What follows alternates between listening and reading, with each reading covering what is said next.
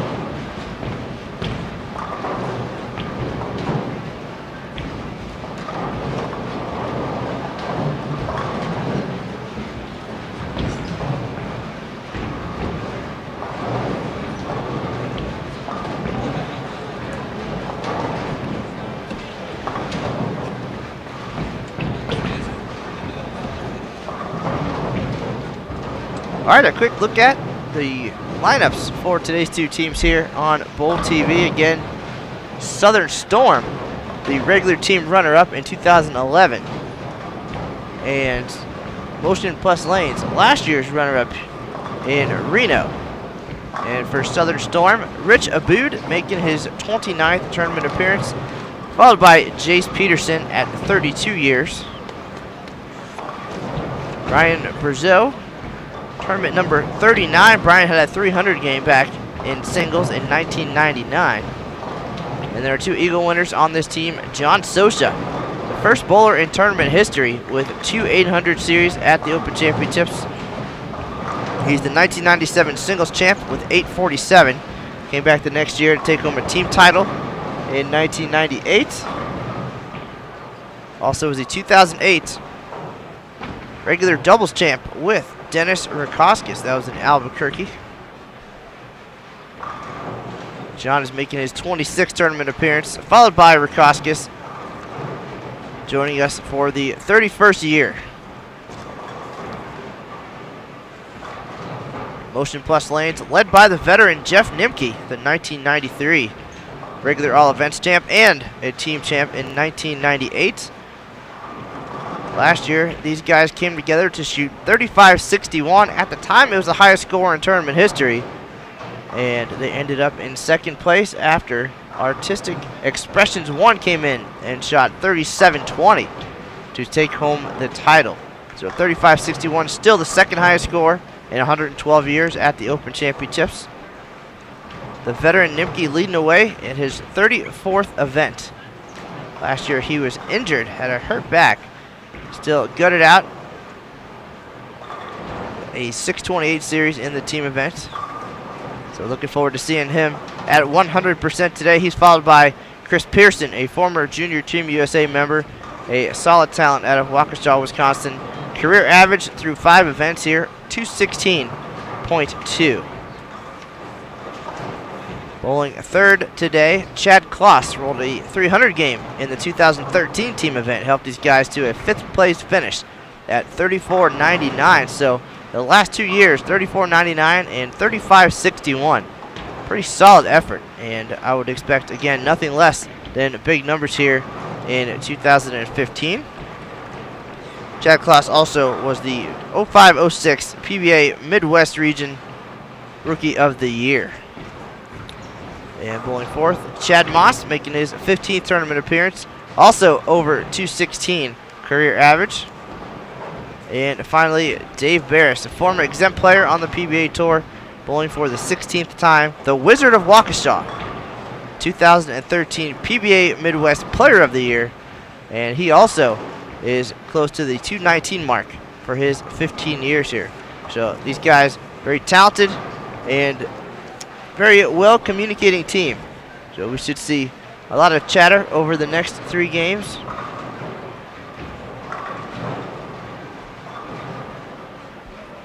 So both of these groups have the potential to make a run here. Right now the top spot on the leaderboard occupied by Junior Team USA Support 1. 33.59. That is a sizable number this year's conditions, proving to be extremely challenging. If you take a look at those, or if you'd like to take a look at those lane conditions, you can visit bowl.com slash openchamp, and you'll see the graphs there, uh, the link in the right-hand menu. A lot of other great information on that page as well. So check that out. If you have any questions, feel free to let us know. So we've had a few changes in the leaderboard this week, and right now, 10th place, simply plus 10, 3,010 is the final spot on the leaderboard right now. So far this week, we saw hashtag Team Dole make a run and move into second place at 32-31, followed by Bowling with Leverage Pro Shop, 32-11. And then last night, Steve Klumpkin, David Haynes, they made a run and uh, fell a little bit short in the final frames. Moved into fourth place at 31.78. And our first big number of the year, 31.49. Currently fifth in the standings. So it's been a, a high scoring week here in the team event. And a lot of possibilities, some terrific teams here on the squad. On the other side of the venue, we have 2009 Masters champ, John Nolan. So we'll keep an eye on the other lanes across the venue as we settle in here.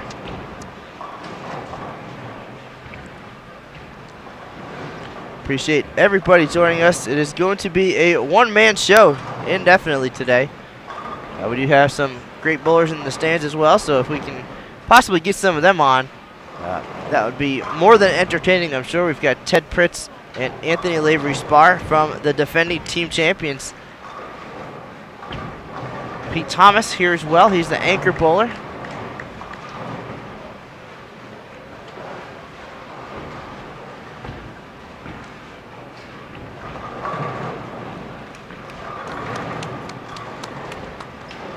After motion plus lanes came in and, and set the bar at 35.61. Everybody wondered if 3600 was possible. These guys left a little bit on the lanes in the final frame last year. And uh, still, to this date, no 3600 has been bowled at the Open Championships, of course. Artistic Expressions took home the title with 37-20.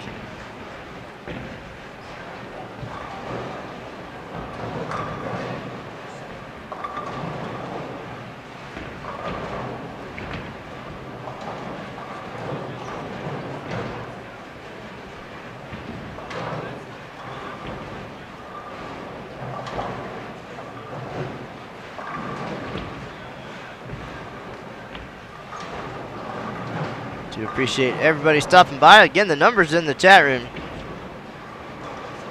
certainly blew up here as we got underway. And thank you all for sharing a part of your Friday afternoon with us.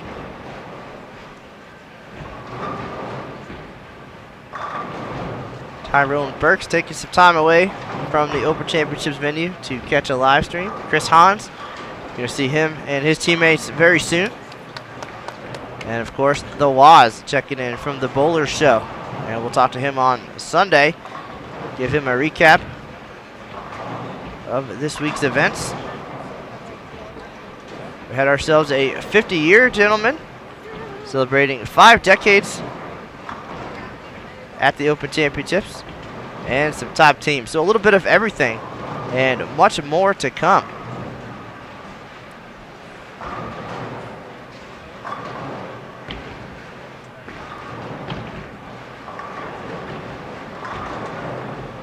Again, if you are just joining us, we are at the start of game number one of today's 5 p.m. team event. We're here to see Motion Plus Lanes, the 2014 regular team runner-up. And a bonus, we get Southern Storm, the runner-up in 2011. And it took the highest game at the time in tournament history to beat them. Jeff Briggles and crew shot 1281 in their finale and took home the title.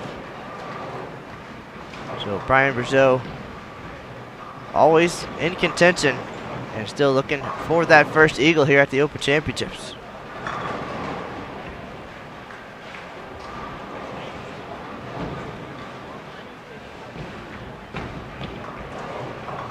The number they're chasing, 3359 just over 3,000 will get them in the top 10. So that shows you how challenging this year's team lane pattern is. And as we have done since 2013, two different lane conditions here at the Open Championship. So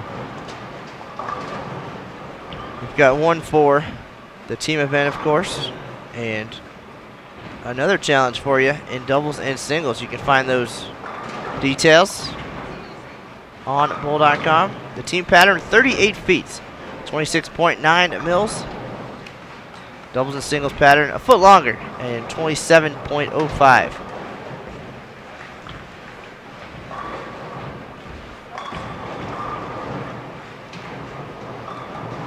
So you see Chad Kloss up on lane 40 with the open frame. And he is nursing a serious arm tendon bicep injury and that certainly could be a factor here in today's team event.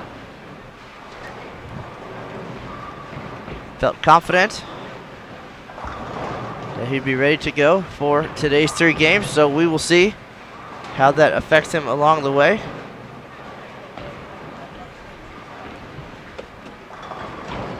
Chatted with them a little bit recently, and again, chatted with the arm injury. Nimke with the hurt back last year uh, these guys already a dangerous, dangerous team. And to see them come in one year at 100% uh, would be a scary thing for the rest of our teams.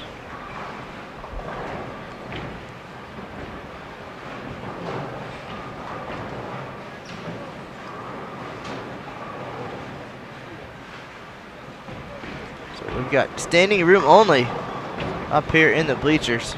Some terrific bowlers again. Kerry Painter, a top senior player. Stopping through El Paso, looking to bowl in this year's Open Championships.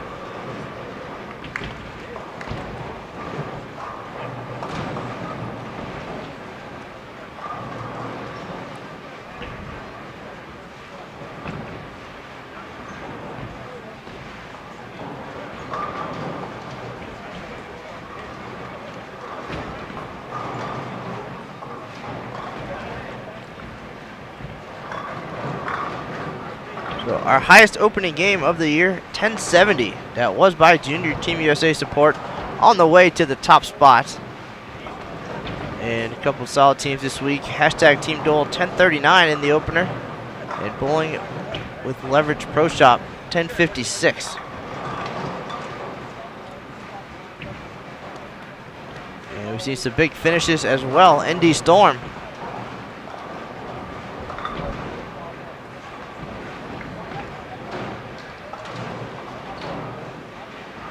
at 12.23 after games of 9.39 and 9.87.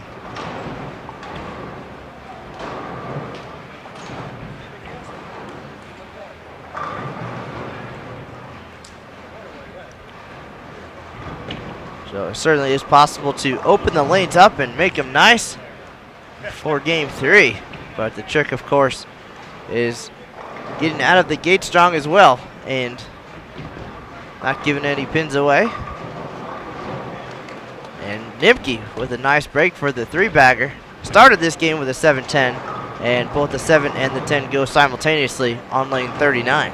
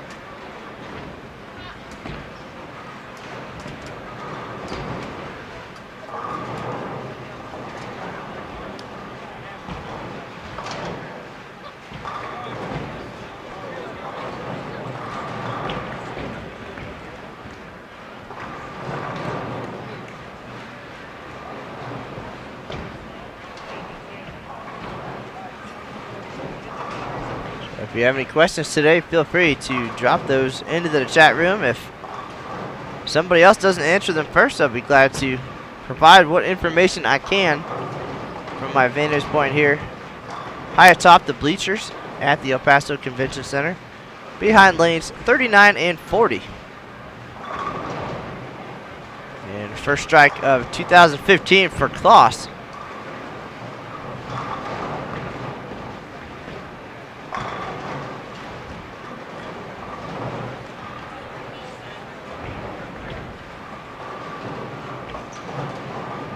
You can see, a lot of communication and something these guys do very well and often. They do have the benefit of coming from the same location so they can practice together and come up with their game plan. They also bowl state tournament together and have had considerable success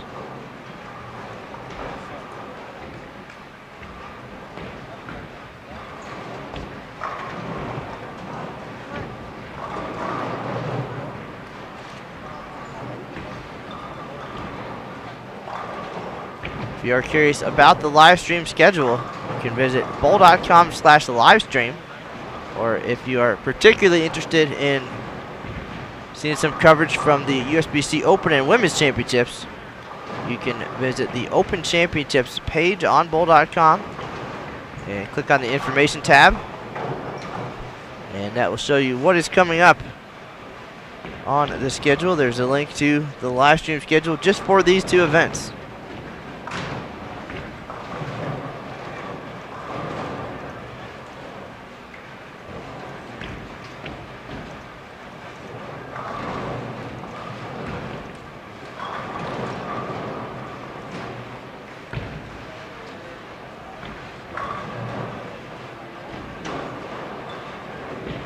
Again, this year's team lane condition, 38 feet, and you can find those details on bowl.com. There's a graph even, so if any of that even makes sense to you,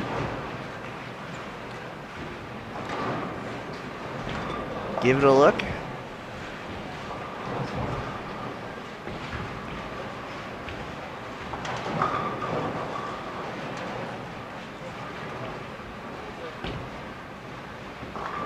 We did not get a chance to talk game plan with these guys prior to competition. We'll let their bowling say everything about their strategy. And we will focus on the facts and figures, get you the scores, and direct you to any information. Uh, so far, a few of the shots we've seen, some of the guys towards the outside part of the lane early. And we'll see how that changes as these three games progress.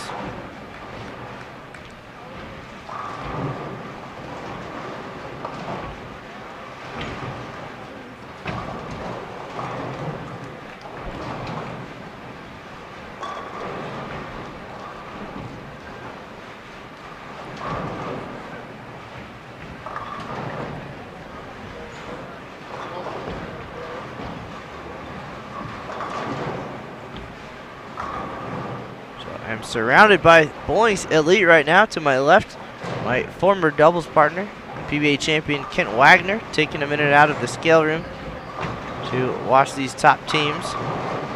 Again, members of the defending team champion, Artistic Expressions 1, Anthony Lavery-Spahr, Ted Pritz, and Pete Thomas looking on, as well as tournament manager Dwayne Hagen. This year's tournament kicked off March 7th, and we will have 128 consecutive days of competition, concluding July 12th. And as we get here towards the middle of April, they're going to be jam-packed the rest of the way. And many, many great teams headed to the Sun City between now and July.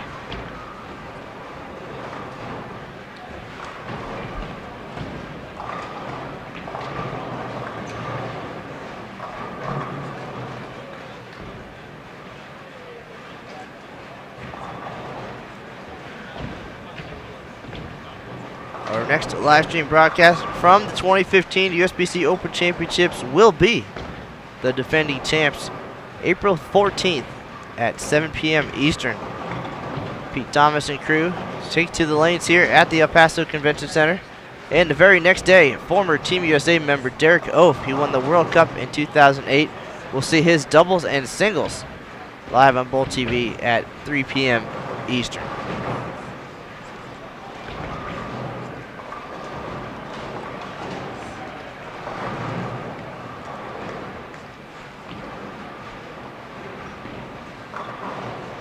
And the crowd continues to grow. Chris Shipman checking in. Steve Bone.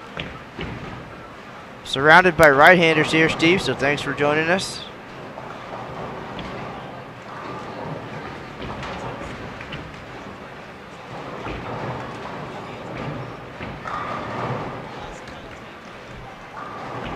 The inquisitive Ryan Burks stopping by.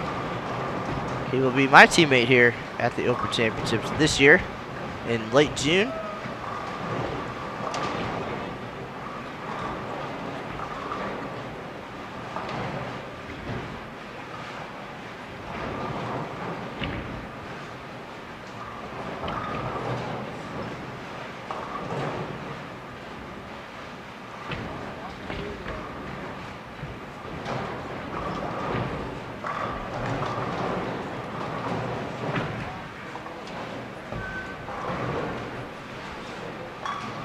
Couple great broadcasts so far this year.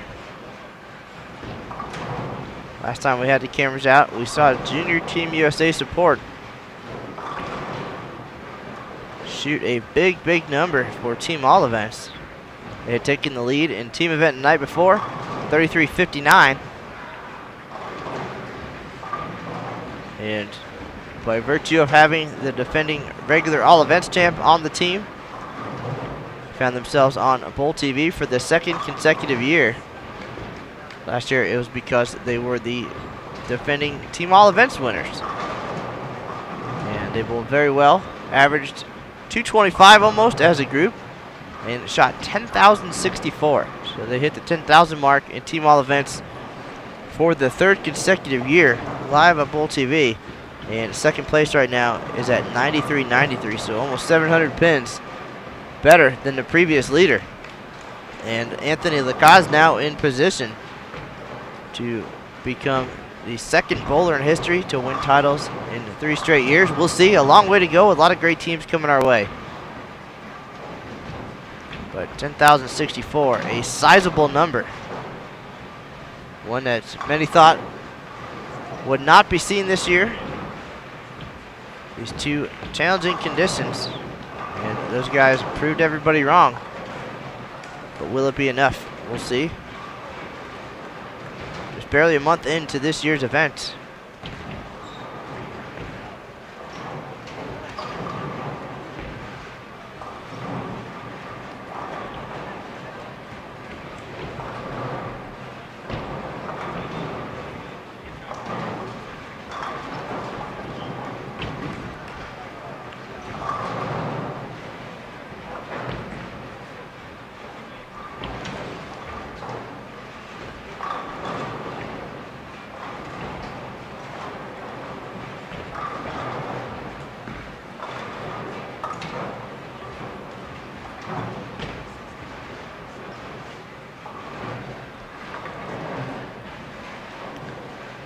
So, far, just looking at the top 10, eh, being around the 1,000 mark in game one will be a solid start here in 2015.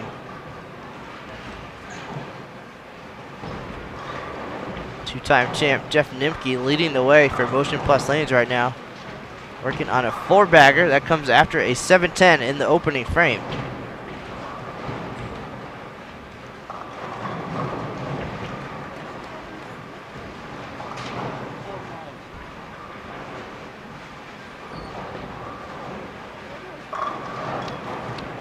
Four in a row for Nimke. Saw him in the hallway earlier. Very glad to be back healthy and 100%.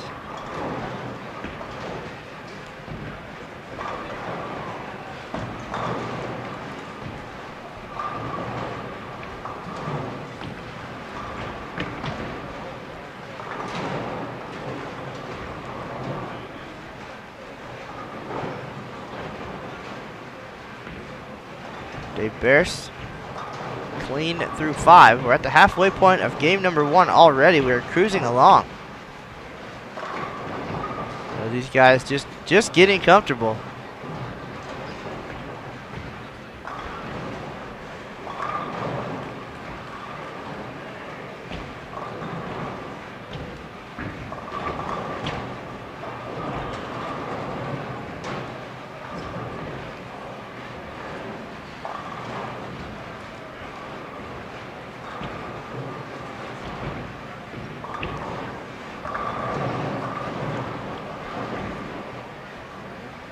back in 2013 at the time known as Red Carpet Lanes.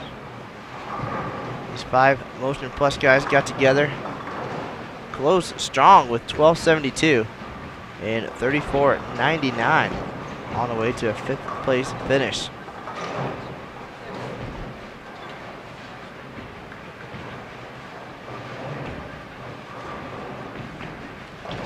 Continued that momentum in 2014. Put together games of 1269, 1177, and 1115 for 3561. Again, they left some pins out there in the 10th frame.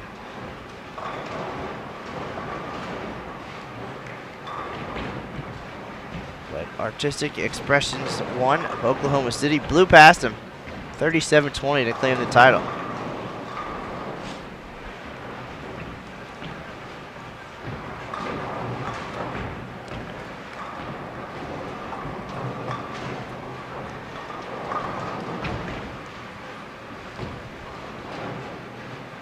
Pierson and Kloss still talking strategy. This year we're pulling on Kegel Ice Oil.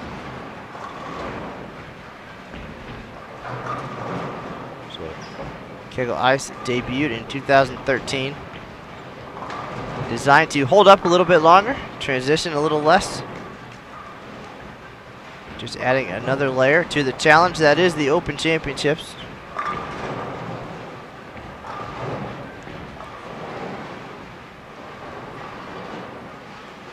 Here's Brian Brazeau up on lane 40. Top senior player. Hails from Ocala, Florida. Despite a terrific career, that Orange Eagle has eluded him for 38 years. A couple close calls.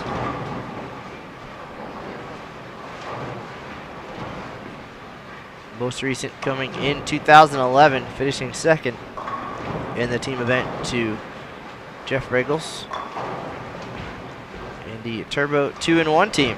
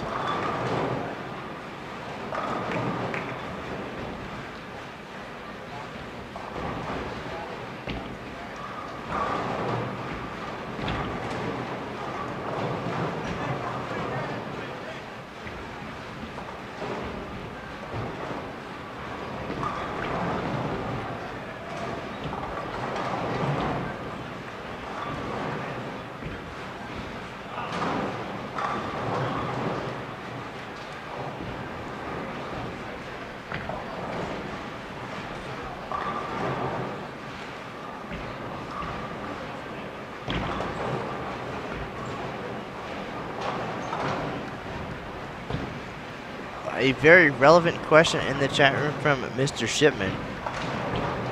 Who's in the booth tonight? Well, right now it's a one-man show.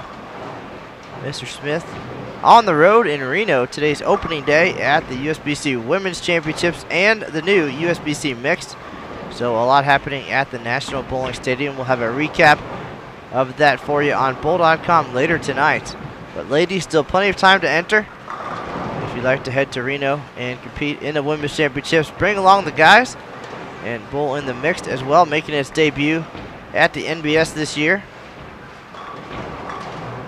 Both events will run from April 10th until June 30th.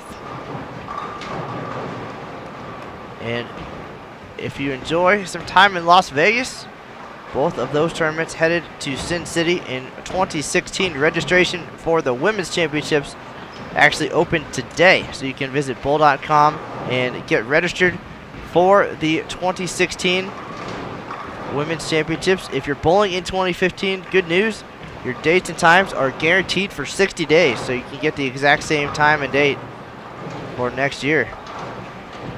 And registration for the mixed will be open soon. But two great opportunities to compete in Las Vegas at the new South Point Bowling Plaza coming up in 2016. And the Open Championships, of course, headed back to the National Bowling Stadium for one more run. Registration for next year's OC also available on bowl.com.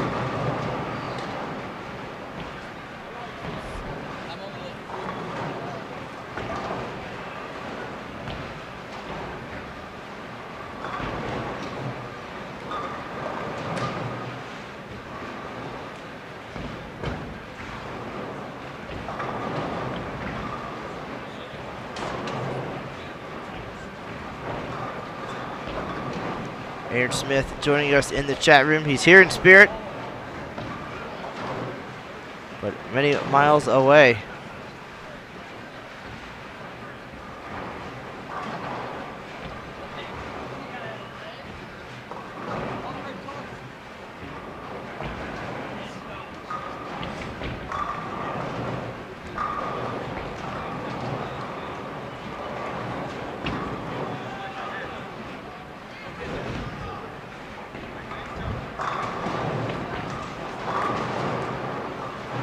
Game number one rolling along here at the El Paso Convention Center. A few holes on the board for Southern Storm and Motion Plus Lanes.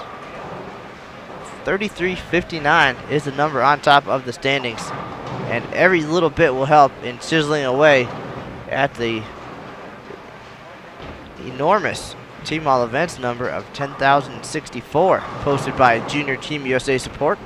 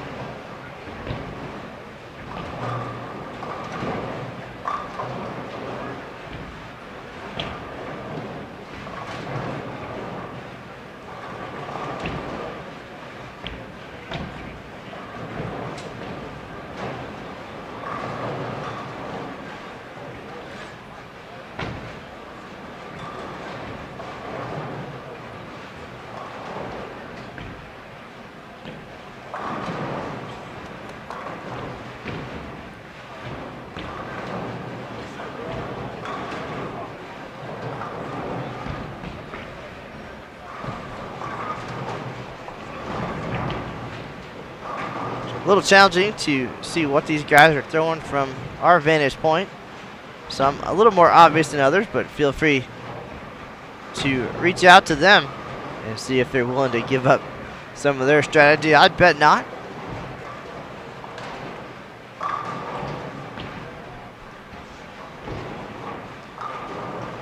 Big strike there by Beres. Still clean through seven.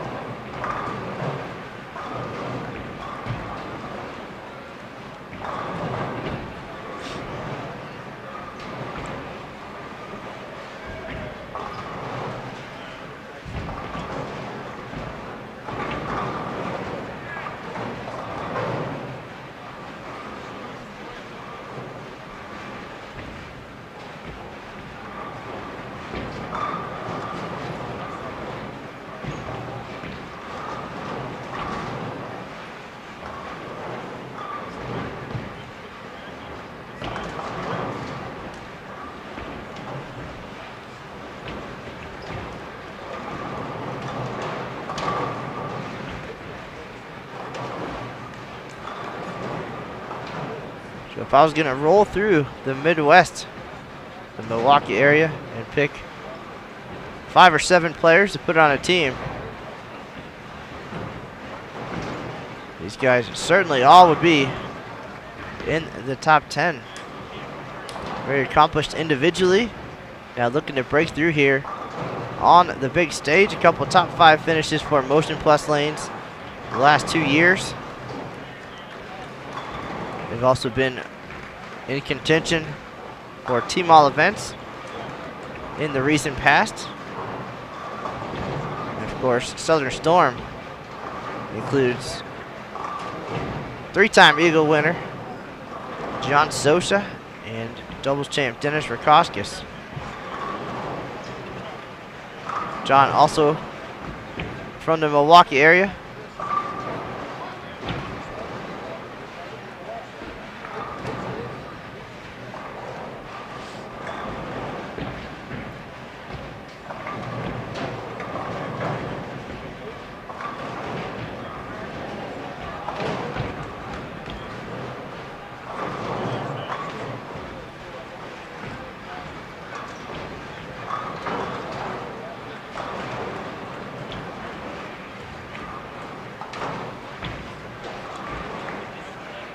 Chris Hans giving us a little bit of trivia in the chat room. How many USBC bowlers have bowled every score between 290 and 300? There's at least one. We talked about him earlier.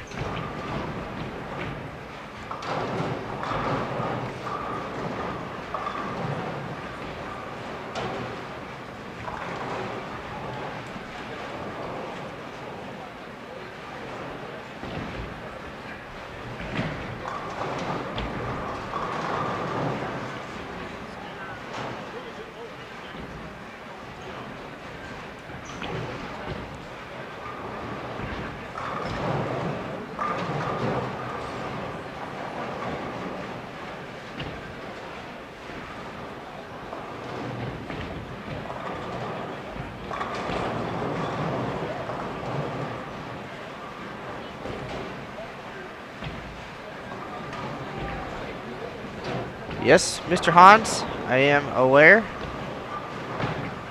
Not something that we track at USBC, but one that has come up in many discussions and can be verified.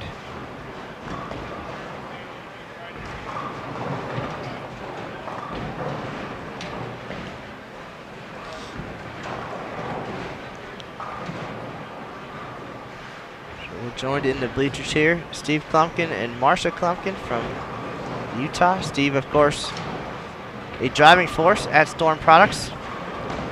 One of our gold partners here at the Open Championships. We want to thank Columbia 300, Hammer, Kegel, and Storm for all of their great support at this year's Open and Women's Championships.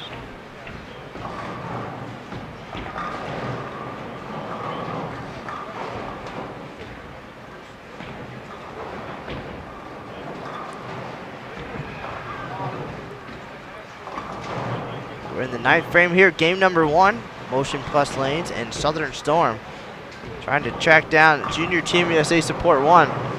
And it's 33.59 total.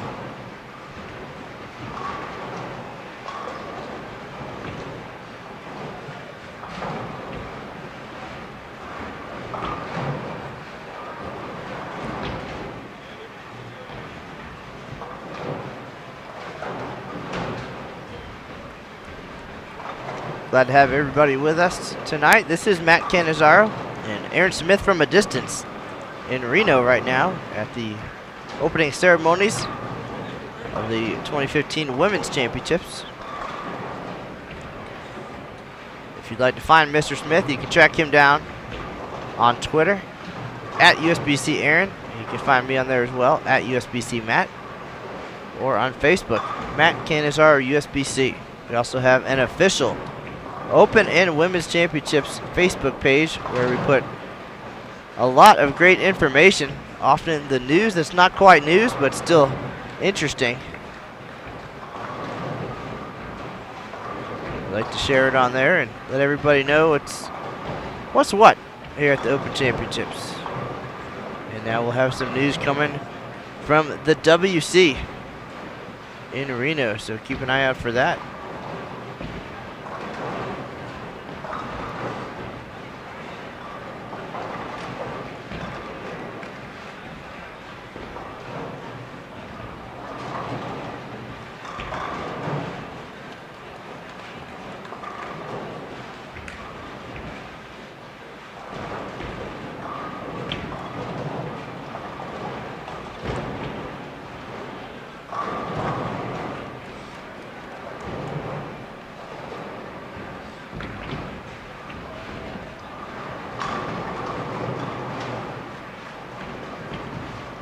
Here's Chad Maas up on lane 40, looking for four in a row here.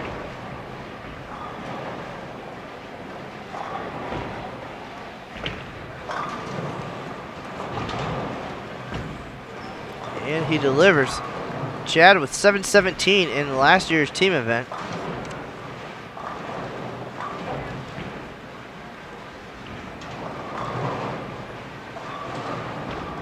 Kloss led the way with 762, followed by Chris Pierson, 756.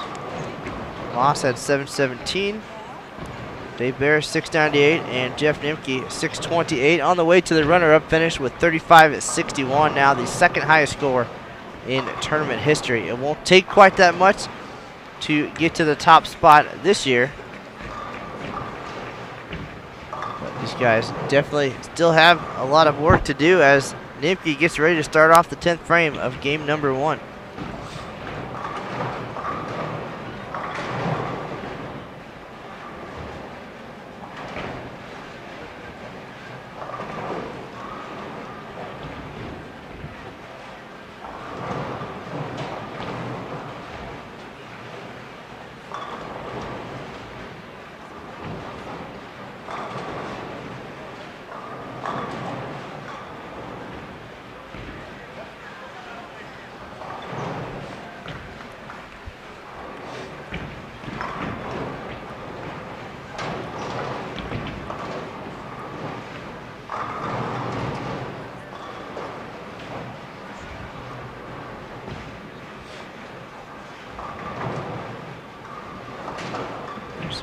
Southern Storm, 10th frame about to get underway. Rich Abboud.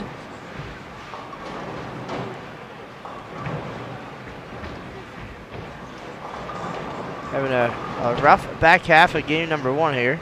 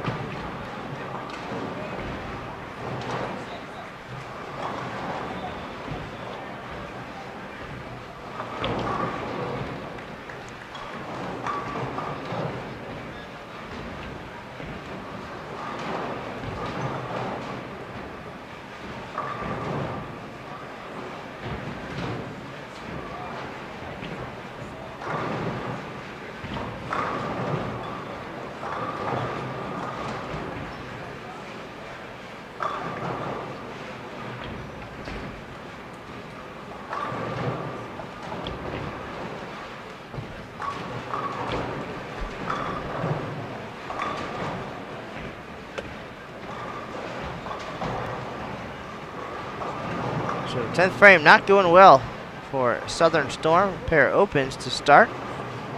But Brian Brazeau trying to reel it back in. Four in a row, looking to make it five.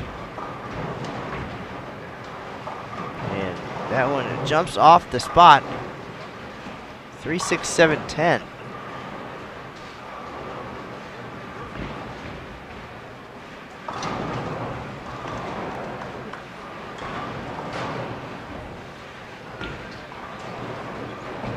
Some good chatter in the chat room about the Open and Women's Championships and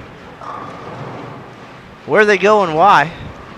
2013 and 14, the first opportunities we've had to have the two events in the same host city in the same year. Just uh, worked out that we had the venues available. Of course, the Open Championships was at the National Bowling Stadium. The Women's Championships at 44 lanes inside the Reno Sparks Convention Center. Not a lot of cities will afford that opportunity. And also both events uh, kind of have their own personalities and traditions and we want to keep those and give interested cities a chance to have one or both. It's certainly out there. It's not out of the realm of possibility. But uh, we can only go to cities that want to have us. And there certainly is a lot involved in how much time and space we need especially. But the schedule for both events for the coming years available on bowl.com. Reno and the National Bowling Stadium always will be in the mix.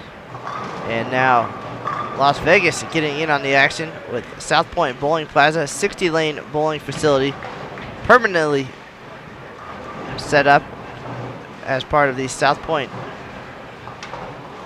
property. So we'll spend some time there. And then we'll be on the road. Open Championships will head to Syracuse in 2018. Women's Championships going to Baton Rouge in 2017. Wichita in 2019 and Mobile in 2021. So we're pretty much booked out now through 2026 with the exception of one year for each event with the goal being to head east if possible. But again, need to find cities that are interested and able to become part of bowling history. Now we'll turn our attention back to the scoreboard. Brian Brazeau finishes with 206. Chad Maas with the split in the 10th frame on the four bagger finishes with 212 for motion plus lanes. So definitely going to have a lot of work to do in games two and three.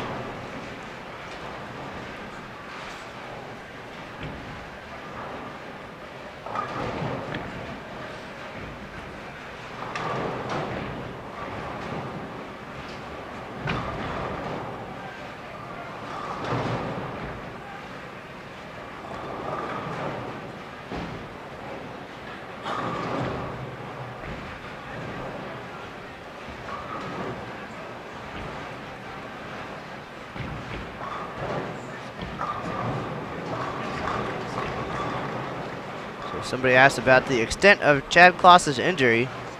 And uh, all I can tell you is that I know it is very painful.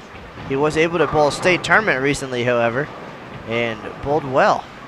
So I was feeling good uh, about the possibilities of a, another solid performance here at the Open Championships. Again, uh, might just take a minute or two to get loosened up and ready to go. But these guys are true competitors. And there's no doubt that he would have stepped aside if it was serious enough. That's what a team player would do.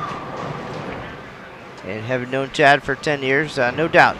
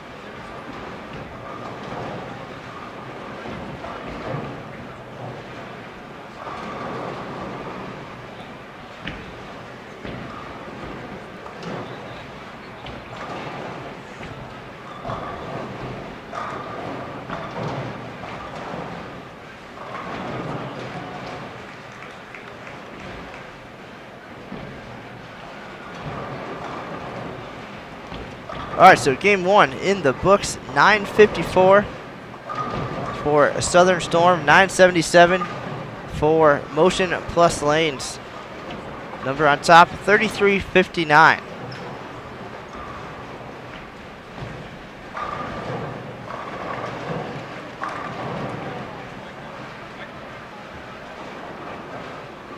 So 977, not a bad start. 954, not too bad either. Actually, both scores beat all teams in the top 10 from 4th to 10th place. So the top three teams all bowled well over a 1,000. But the next highest game in the top 10 in the opener, 952. So both teams still in the hunt for a spot in the top 10. It will only take plus 10 to get there.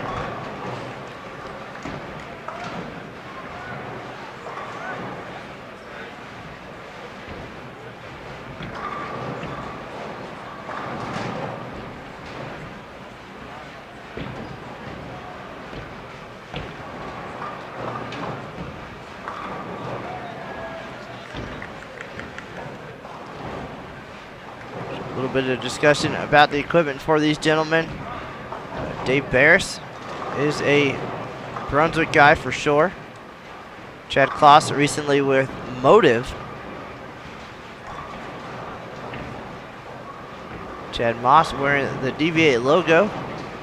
Not sure the affiliation there. Chris Pierson, big Storm fan.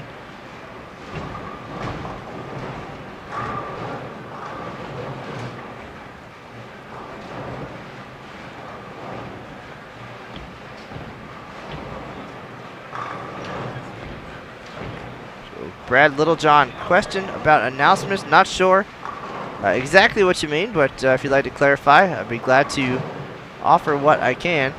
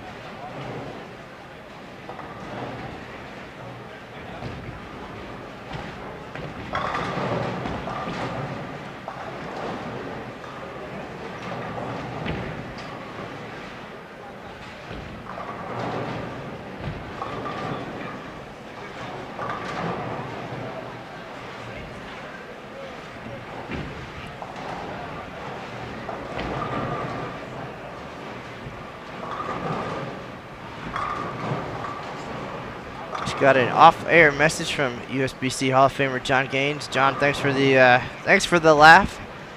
We'll see John's group, Lodge Lanes and Company, early in June.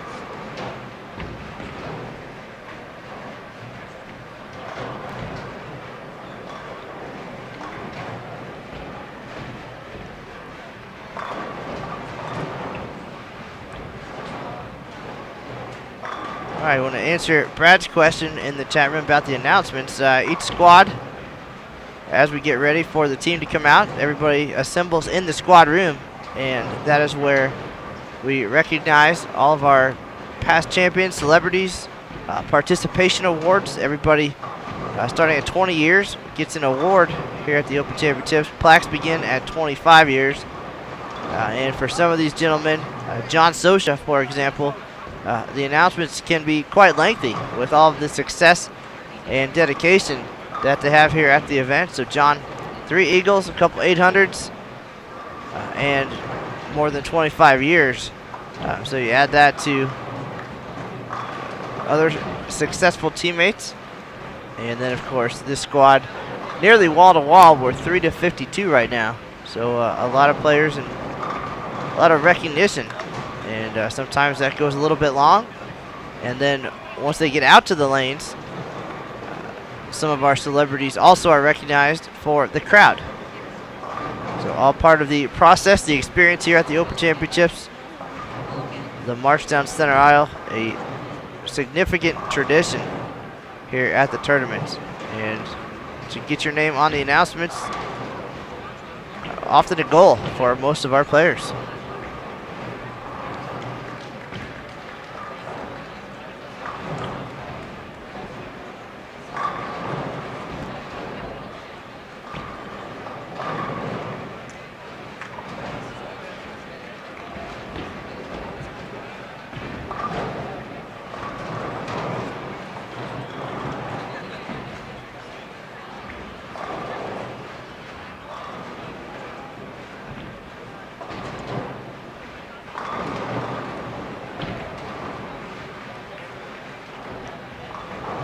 We do have a lot of great live streams coming up from the Open and Women's Championships this year. The schedule can be found at bowl.com slash open champ under the information tab. Coming up next on April 14th, defending team champion Artistic Expressions 1. Those guys in the building right now taking a look at these top teams. Ted Pritz, Anthony Lavery-Spahr, Pete Thomas, Jimmy McMartin, and Zeno Garcia. Again, that's April 14th at 7 p.m. Eastern. They shot 37-20 last year to take home the team title. Looking to make it back-to-back -back wins here in El Paso. And the very next day, former Team USA member Derek Eoff. We haven't had a chance to see him on Bowl TV before. And a very accomplished group of former University of Nebraska standouts with quite a list of accomplishments, whether it be here at the Open Championships, collegiately, or as members of Team USA and Junior Team USA. So looking forward to those two broadcasts. That one will be April 15th at 3 p.m. Eastern. That's our 1 p.m. doubles and single squad here in El Paso. And somebody did ask about John Gaines and the Lodge Lanes crew. They will be here June 9th and 10th. And we'll have that talented group back on Bowl TV for their team event on June 9th.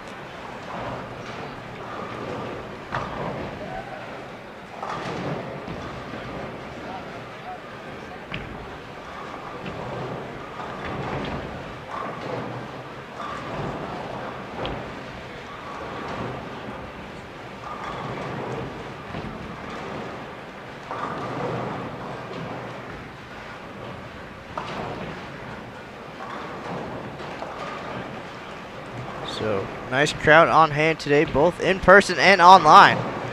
More than 500 watching on Bowl TV. Thanks for joining us. This is Matt Cannizzaro minus Aaron Smith here at the 2015 USBC Open Championships. You get to listen to the sweet sounds of Matt Cannizzaro for three plus hours as we watch Motion Plus Lanes and Southern Storm. Working on getting a couple guests in the booth if possible uh, most of the folks watching intently on what's happening on the tournament lanes here, moving in and out of the bleachers.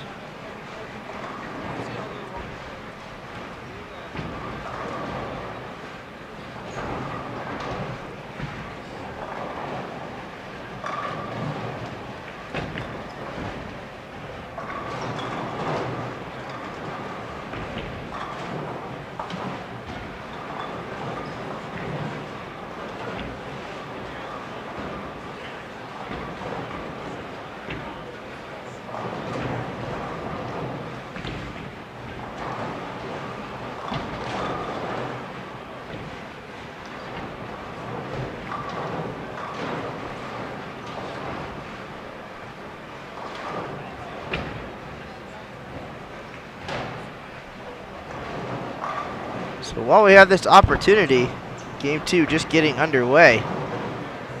Take a look at the leaderboards again in the team event. Junior Team USA Support 1 on top, 33.59. But to make the top 10 right now, only plus 10. So just over 3,000 will get you on the leaderboard and get you a nice payday, I'm sure. And looking at regular doubles, Tom Woodworth and Jeremy Sonnenfeld have been at the top for almost the entire event. They bowled early. We kicked things off here March 7th, and they're holding steady at 1372. James Hanson and Ron Moore gave it a run just a couple days ago and came up short uh, in the 10th frame. Ron Moore needed a double, would have got him there. He left an 8 pin on his second shot. Hanson got eight on his field ball. Ron Moore missed the spare, ended up with 1372 pins back. Earlier today, Steve Kloempken and David Haynes had a good effort. Shot 1311, moved into the top five as well.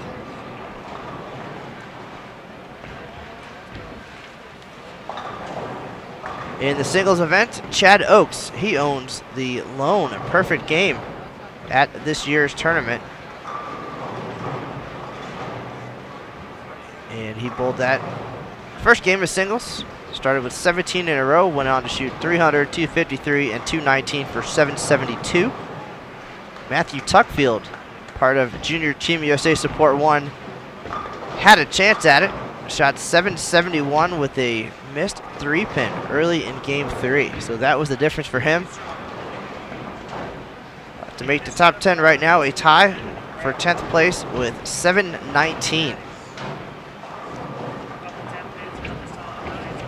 And in regular all events, Eric Vermilia led the way for Junior Team USA Support 1. 2083. He's having a fantastic career here at the Open Championships, averaging well over 220 for just over a decade. Matthew Tuckfield in third place. Anthony Lacaz, the defending champ, in sixth place.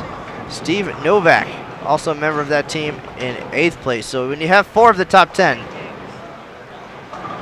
that is a pretty spectacular performance, and all of that helped them to a 10,064 total in team all events, looking to capture their second title in three years in that event. Almost 700 pins ahead of the previous leader. So quite a performance.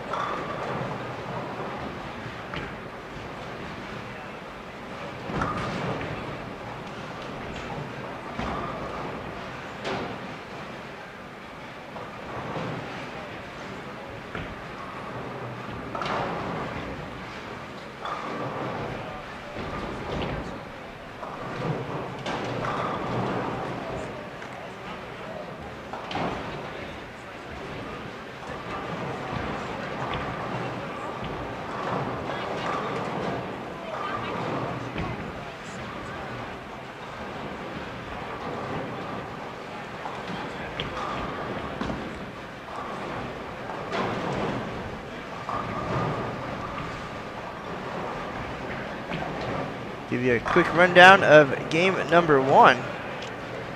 If I can find where I wrote that down. All right, here we go. For Southern Storm, Rich Abboud, 147. Jace Peterson, 209. Brian Brazeau, 206. John Socha, 178. And Dennis Rakauskas, 194 for 954. Not a bad start. Looking at the rest of the teams in the top 10. And for Motion Plus Lanes, Jeff Nimke, 197. He's back to 100% after a back injury in 2014. Chris Pierson, former Junior Team USA member, 192. Chad Kloss, 188. Chad Maas, 212 with an open in the 10th. And Dave Beres, 188 for 977. That is the fourth highest opening game in the top 10 right now. So not a bad pace, but certainly going to need to turn things up here as we roll on.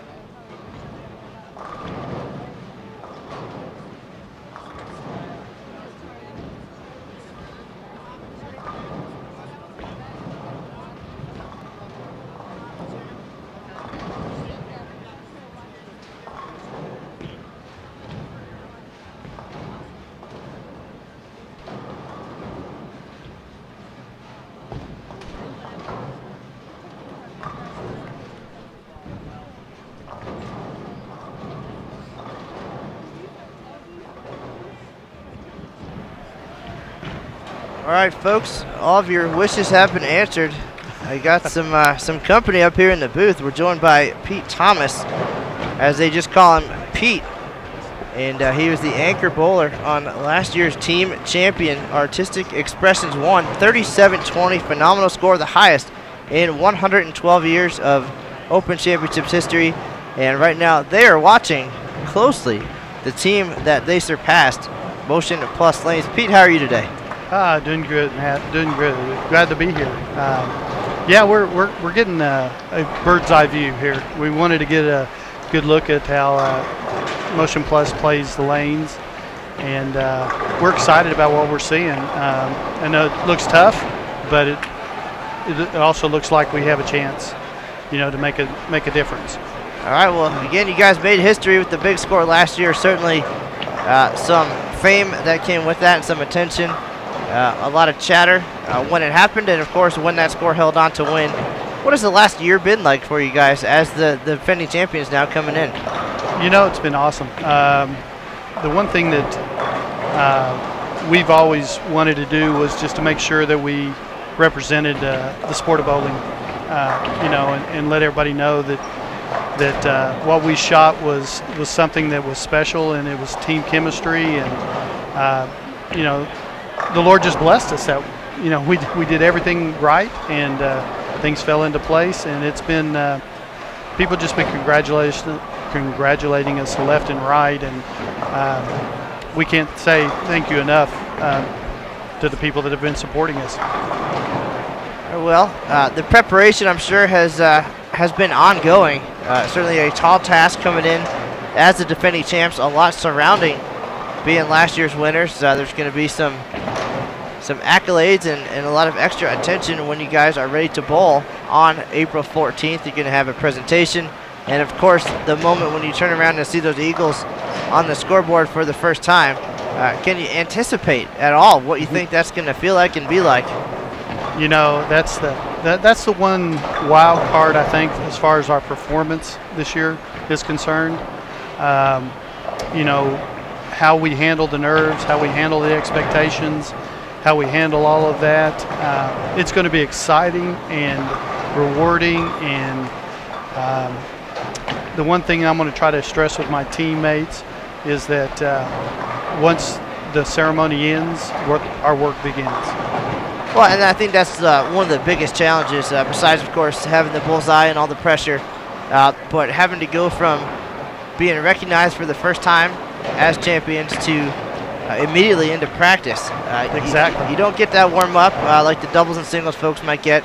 it's showtime right away. Exactly. Um, and, and how do you guys prepare for something like that, or, or can you? You know, I don't think we can really prepare. One of the things that, that I'm going to stress this year with them because of the difficulty of the pattern and uh, for and our companion team as well is that we're going to need to know exactly what we want to do once practice finishes um, and, and be ready to go to your shot because you're not going to get a lot of time uh, trying to throw shots during practice that you might be throwing once the lights come on so you're going to need to be ready to know what you're going to do immediately and I think that's going to be the key to the success is the, the guys that, that are prepared to know that they're not going to get a lot of practice on their shot until the lights come on.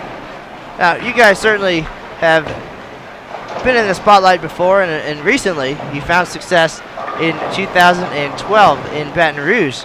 Uh, a very solid effort there. Right. Um, and you guys did not have a companion team that year. You guys were split for the team event. Right. Uh, how does that change the strategy a little bit coming in, bowling together with 10 guys out there rather than uh, whoever you get mixed up with? Exactly. Uh, it, it, well, it, it makes it a lot it makes it a lot simpler. It really does. It, it, it also makes it a lot more fun because you have 10 guys with the same goal in mind. And, and they all want to work together to, to, to, to put themselves in a position to win. Uh, you know, uh, we're excited about uh, our companion team having an opportunity this year with the scores the way they are, if they, you know, if we all do our jobs, we could finish high together as a group, and uh, that's that's what I want. That's what I want for them, and uh, and I hopefully it will come true.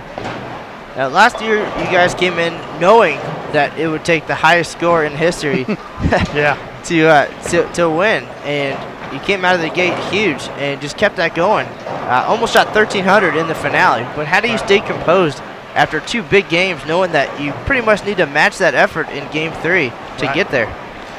Well, the, the thing that the thing that that uh, that we uh, we talked about um, all all throughout the whole night was whenever we communicated with each other as to the ball changes and the, the line changes to realize that, that just when it's your time to throw, it's your time up there, just make that shot. Make your shot, do your job, and uh, let the result take care of itself. And then, uh, so the pressure really was wasn't on us other than just making shots. And that's what I tried to get across was, you know, whether you're throwing it for $10,000 or whether you're throwing it for nothing, you need to be able to do the same thing. And, and that's what I've always worked on in my life is to execute the shot the same way, whether it was for something or nothing. And you guys, of course, all very accomplished players. You know, you have uh, many uh, Mega Bucks successes. Uh, Zeno, of course, with a 300 here. Right. Uh, Anthony, a, a youngster, but a recent PBA champion as well. Also had a fantastic summer swing last year. Um, so an up and comer. Um, good diversity on the team, I think, Oh, as far as uh, age and experience. And um, how do you see your role in that team? You're, you're kind of kind of the quiet guy, but uh, but what is your role? Well, my, my, my role on my role on the team uh, is the stability, um, the consistency, and knowing, you know, just like what what's going on this year out here. Uh, you know, we played on the lanes back home. We played on the shot, and it doesn't play anything like that out here. The surface out here plays completely differently. The ice oil makes a huge difference in how the shot plays on this fresh lane surface and so consequently my my job and my role with these guys was to is to know exactly what we're going to do and to have an idea of how to, to best attack the lanes um, and you know and as there as as the one with the most experience uh, you know that's that's something that that uh, I've just stressed on them is you know the calmness under the, the pressure situations having been there done that um, you know, and they, they, they really they're thriving on it. They're thriving on it, and they're they're listening, and that's what's making us successful. Right now, this year, again, game plan probably going to be a little bit different. Uh, knowing, looking at the scores, uh, last year it took the highest score ever.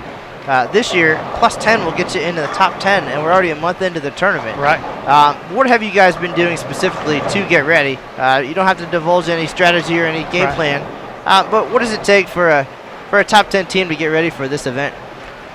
Well, I think I think uh, if for those out listening, I mean, if you're coming here to, to Reno thinking that that you're going to make a difference in this pattern by not not making good shots, by not having your timing right or your, your fundamentals down, uh, then you're sorely mistaken. You're gonna you're gonna be embarrassed. And so my my advice to everybody is is work on bowling on some flat shots to where you don't where you have very little margin for error. Because if you don't you're going to come out here and you're going to see your balls you think you threw a good shot and your ball's going to miss left you, you think you threw a good shot and it's going to miss right because you're not used to hitting your, your, your target. So you need to work on making good shots and that's what we've been working on is bowling on tough shots and not bowling on easy shots Great, and we do have a unique opportunity here in 2015, the showcase lanes now. 10 lanes alongside our main 52 here. And really for the first time, uh, the lanes right next to each other, uh, installed at the same exact time. So you've got the exact same brand new lane surface, same lane machines, same oil, same everything that you could possibly need to get the environment just right for a team practice session. right Uh, is that something that you guys plan to take advantage of? Oh, absolutely, absolutely. It's uh, you know um, that we will be we will be practicing at one o'clock uh, on Tuesday before we bowl at five o'clock, and that uh, we'll get a good idea of how, if we need to fine tune our strategy, or if our strategy is is dead on. And uh, that's the exciting thing is because it's just down. You know, it's 150 yards from here.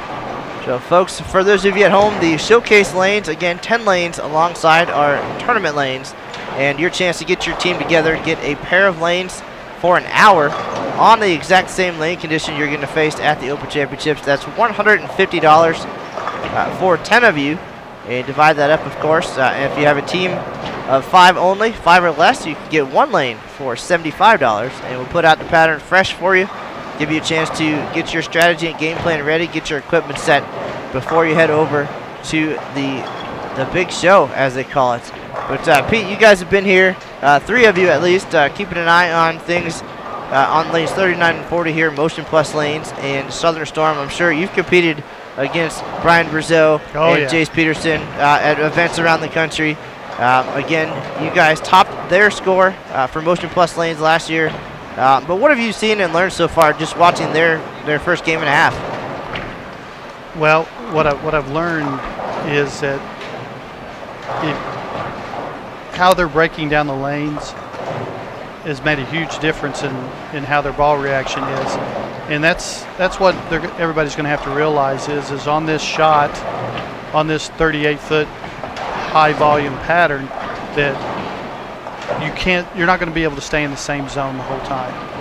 And and once your transition hits you're going to have to be willing to make that transition quickly and not not hesitate. Uh, and these guys are doing it. They're, they're they've made their transition. They're starting to see a much better ball reaction now because of the work that they put in in their first game. Well, and we saw that going back to the introduction of the ice oil in, in 2013 uh, a lot of teams were used to making moves at certain points in the team event, uh, working together, and uh, the ice kind of changed that game a little bit. It delays the transition.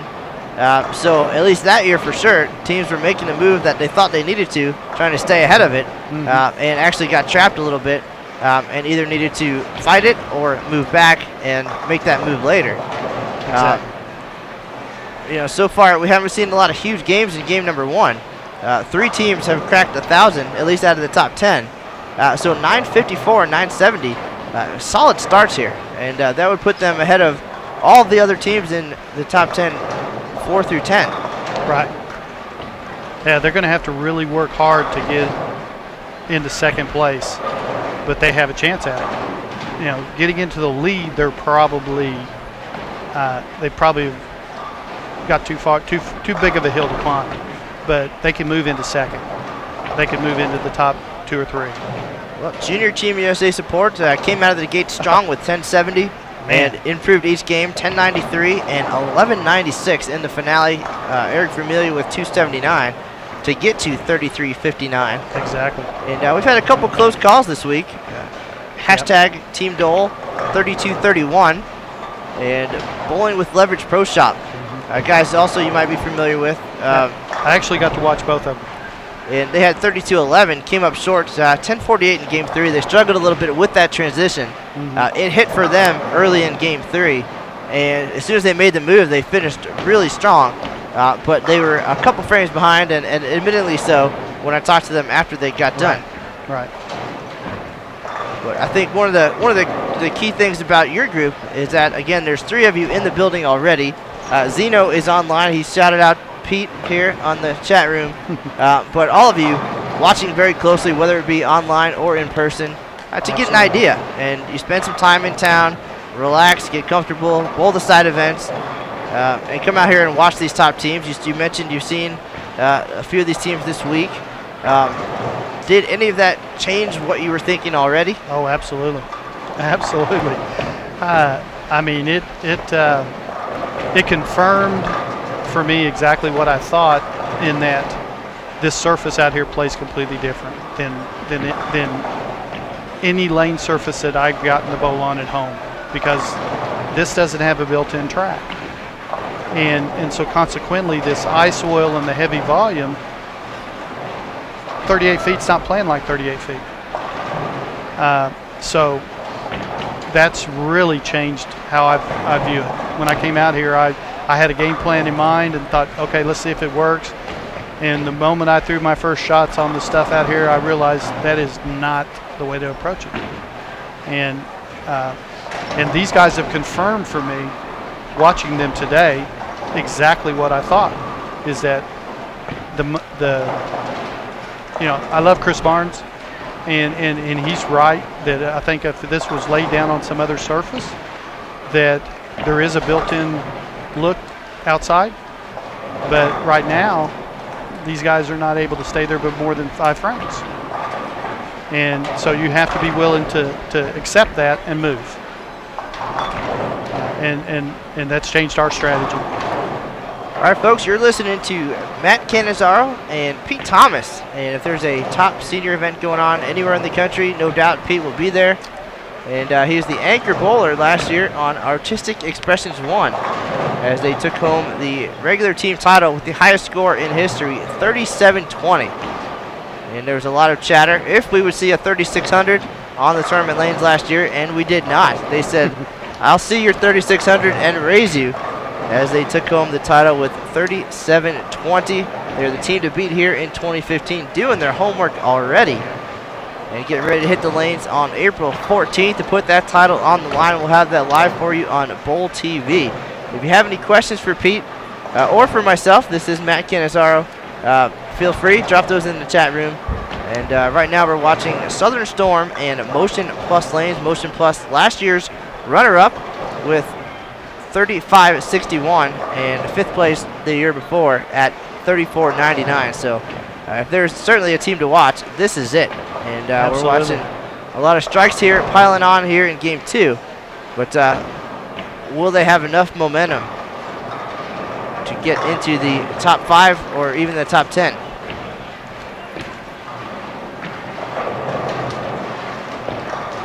And now, Pete, the uh, the party is complete. Jimmy is in the chat room as well. so uh, Good. we've got all five guys watching and taking notes, I'm sure. Absolutely. Jimmy, get your tail out here. yeah, Jimmy. Jimmy's a good guy. He's got he he's got a job that he that he started not too long after we started last year, and it you know uh, with the way bowling is now, you know you gotta you gotta have a job, and and um, he's got to support his family. And uh, I'm just giving him a hard time not being out here right now. All right, now last year you guys uh, almost made it a twofer. Uh, certainly gave Team All Events a run as well. Uh, Yeah, we need to blow up lane 43 at the stadium. little different strategy. Had uh, had the guys spread out over a couple of squads, and really did give it a run going into the last couple of games there. Absolutely. Yeah, we we, we, we should have done it. We just uh, we just did not uh, bowl well. A couple of us did not carry very well in the doubles and singles. With the lead that we had, there's no reason we shouldn't have won it. Yeah, Those, that that team bowled phenomenal. They, that won it, but we had a head start and and we just didn't care. And again, it was a, a near record score in team all events, Mhm. uh, and the excitement uh, coming off of that team event. Uh, what did you tell your team after that in order to keep them focused to come back next day to have a big day? Well, ba- I didn't say a whole lot uh, to them because they knew what was at stake. And but the main thing that I, you know, I said just do do what you can, you know, because the the shot in doubles and singles last year was not easy. I mean, it was not easy at all. Uh, and uh, you you know, we, we did what we could. Uh, hats off to uh, to you know to the guys that won it last year. They did they did a phenomenal job uh, in doubles and singles. And for some reason, you know, I think if Jimmy and and and uh, Zeno would have been able to bowl with us, we probably would have made a better run at it. But once again, you know, life intercedes. You know, Jimmy had to go home. He had to get back to work, and that's okay. And you know, we, we, we can live with that. The the number that's up there this year right now, uh, that may not be touched this year in any way, shape, or form. Uh, that is a phenomenal job by Eric Vermeer's team. Uh, they made it look like a house shot in doubles and singles, and that was impressive. Well, the Jans HI crew came in. They uh, they won team all events last year. They've been knocking on the door for a couple years. Finally got it done, and nearly in record fashion. 10,363 was the number. Uh, their banner hangs over the lanes here at the El Paso Convention Center. Uh, they came in this year, struggled a little bit early, uh, and came up with a big double set, or I'm sorry, a big single set to catapult into, at the time, second place in team all events. A very respectable performance Absolutely. uh, with all the pressure and all the things going on. Uh, and I'm sure we'll hear from those guys again. But as you mentioned, uh, Eric Vermilia and the crew, Junior Team USA Support won 10,064. and that is nearly 700 pins better than previous leader, Absolutely. ND Storm. that's uh, that's special, and that really is. That's if we get to that, uh, I'll be- I'll be ecstatic. I'll be I'll be I'll be really ecstatic. But realistically, we're just gonna we're gonna do what we can to to to try to defend our team title, and then see what we can do from there. Well, it certainly is a marathon. Again, team all events is all five all event scores added together, so a 45 game total. Um, the team event uh, often is a, a sprint, and then the bigger picture, team all events, but I'm sure you guys are focused on not just one event at a time, but probably one shot at a time. Exactly, exactly. You, you get ahead of yourself right now on this thing, and uh, you could be embarrassed. All right, right now we're watching two top teams here. They've uh, they both finished as the runners-up here at the Open Championships in the last few years. Motion Plus Lanes last year, second place. 2013 they were fifth, and Southern Storm made a run in 2011, runner-up to Jeff Riggles, and at the time the highest game in tournament history. Right. Uh, but right now they are attacking this 38-foot team lane condition. If you're curious about that pattern, you can see that on bowl.com. And we talk about the transition and getting things figured out. Rich Abboud Yeah. for Southern Storm shot 147 in the opener, and now he's He beat it in game, uh, frame five. Yeah he's already seven out of eight here in game number two. So things can change that quickly. And it's just staying on top of those moves and those changes, and uh, it gets tricky, and you only get one shot at it. Exactly. That's what makes it so special to win an eagle. You know, team eagle like that is that you only get one shot at it, and you got seven thousand other teams coming out here trying to do what you're doing, and uh, so that, that's what makes it special to win it. 'Cause you know you've done something incredible when you do.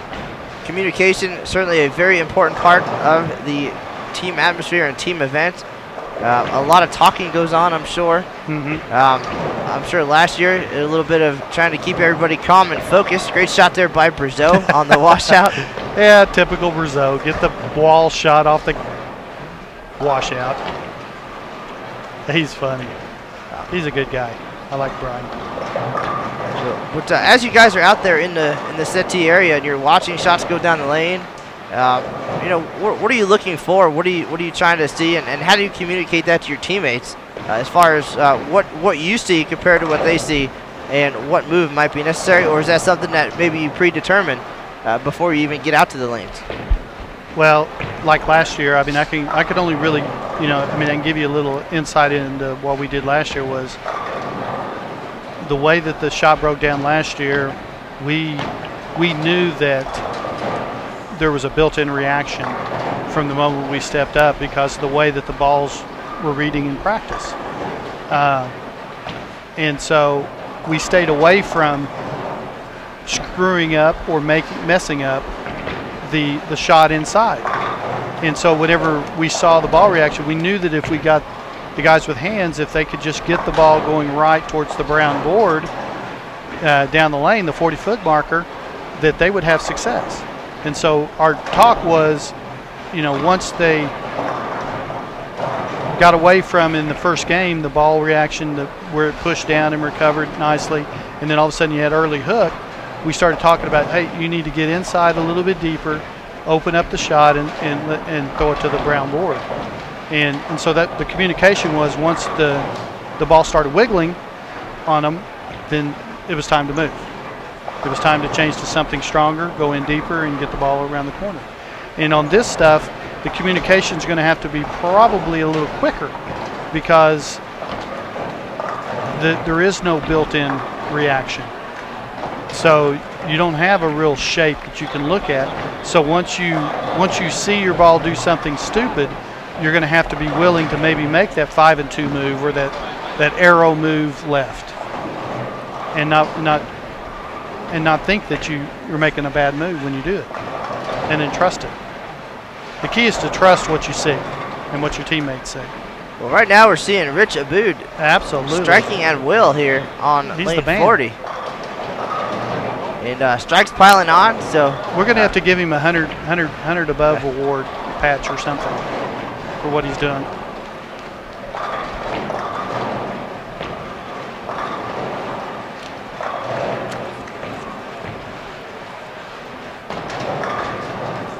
So we've seen a, a lot of increase in our in our top 10 here from game one to game two.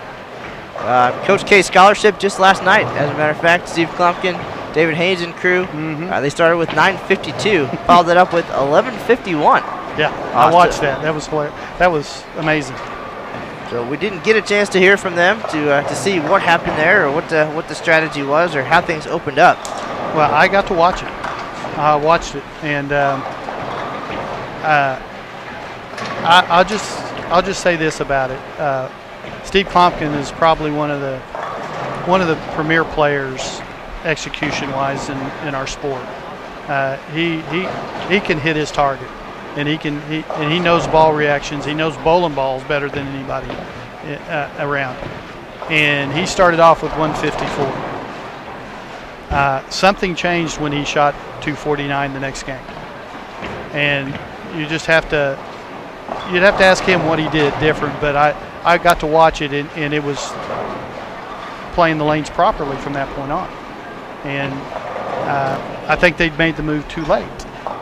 They dug themselves too deep a hole, and they were fighting up a, a huge hill uh, with the 950 start you got to get off to a good start on this. If you don't shoot over a thousand on this or close to a thousand, you're you're you're not going to be able to move into the top three or four.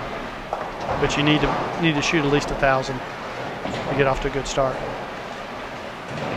Folks, you're hearing from the expert here, Pete Thomas, member of last year's record-setting team champions here at the The Open guys are really starting to go motion plus. They they they're they're starting to make their their move. Their ball reaction is looking a million times better than it did in the first game. So all that work they put in, if you've been watching, all that work they put in to start off with is starting to pay off. Guys familiar with the big scores and the big finishes. Had a nice finish in 2013 to get up to fifth place. And the question here as John Socha rolls the 10. He throws it good, doesn't he? Got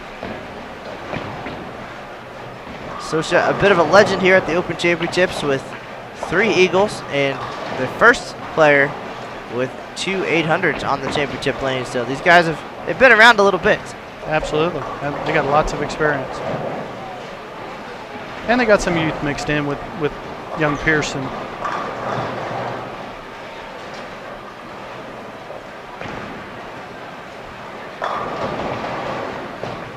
Ah, flat 10 there. These guys also have done the uh, the companion team shuffle a little bit over the years, uh, but I think uh, again a good a good diverse group of uh, experience and some of the straighter players and some of the the booming youngsters uh, all playing together. I think it certainly helps it out. We saw that with Vermilia and his group. hmm Uh, they had three lefties mixed in, and uh, the companion team was all women. So they tend to play the lanes a little bit differently, uh, Yep. and all part of the strategy. And clearly that uh, that has paid off. Absolutely. They uh, they they set a standard that's going to be tough to catch, and it can be it can be caught, but you're going to have to work together. You're going to have to work together to do it. That's that's that's the key. If you don't work together, it ain't going to happen. So here we are getting ready, uh, wrapping up the ninth frame here. And then the big 10th, a lot of pins out there in the 10th frame certainly could make or break the chances here. Uh, but Motion Plus Lanes 977 in the opener, definitely in position. Yeah, if they can strike out, they can they can set themselves up for a move towards that second place easily.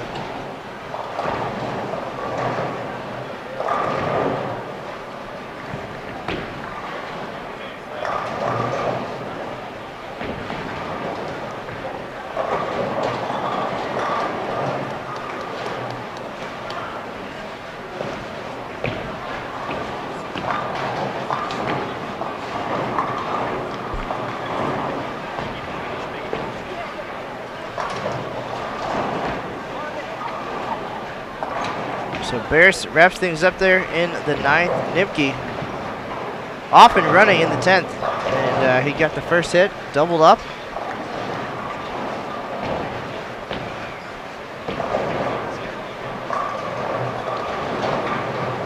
That was a good shot. Bad break. A little shaker seven. You got to carry that if you're going to score big. Definitely got to mix in a couple breaks along the way.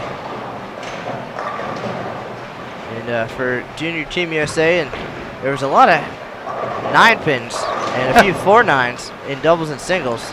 I bet Rich wishes he would have started some other place than where he did right now. he's uh, he's making this look like a house shot now.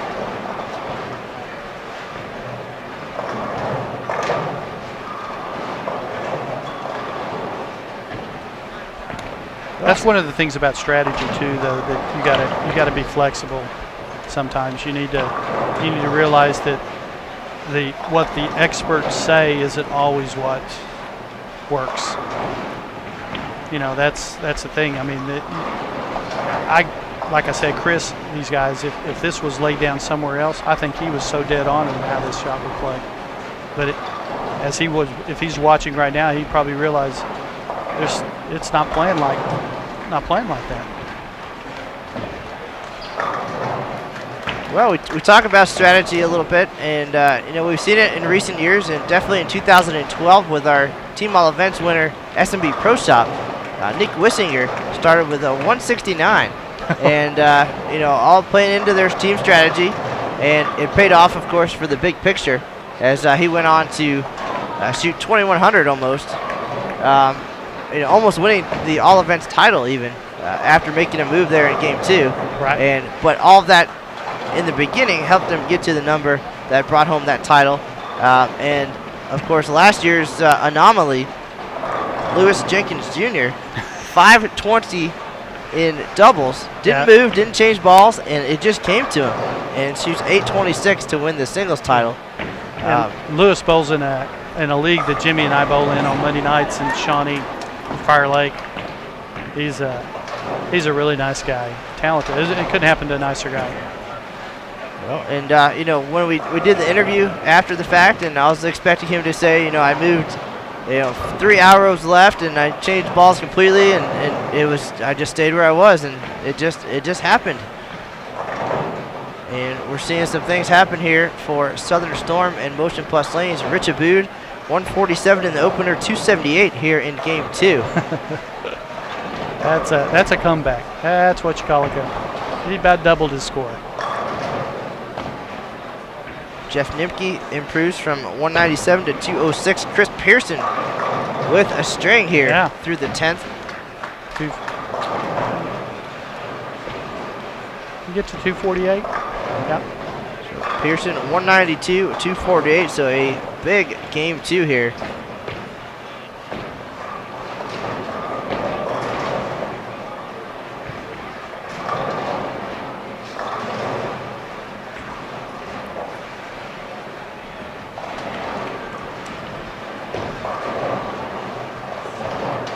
Uh oh. Ah well. So Chad Kloss grabbing that right arm. I tell you see what, the he's ace a trooper, he? He is a trooper. So battling a bicep tendon injury. Last year it was Nimke with the, the back issue. Uh, again, these guys, if they're all healthy one year, they're going to be dangerous. Yeah. Problem is they're not getting younger.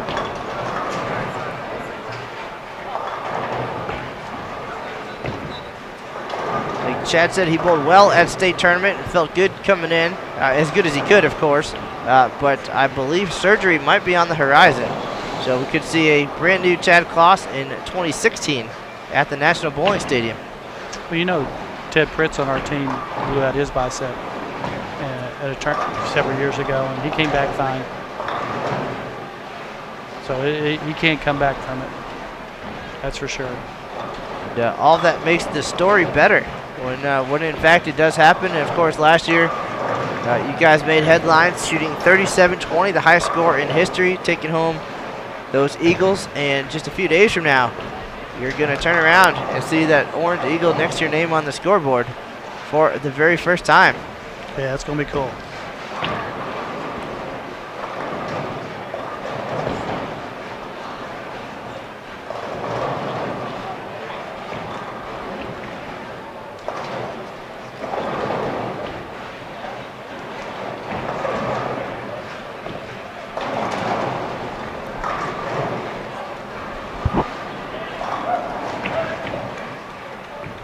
certainly no shortage of celebrities uh, in the audience today watching these guys, and, and why not? Top five finishes in back-to-back years. Uh, if you're going to be in town and, and ready to take notes, this is the place to be right now.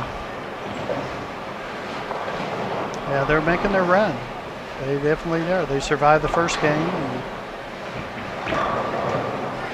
They're going to put up a number here to give them, give them a chance.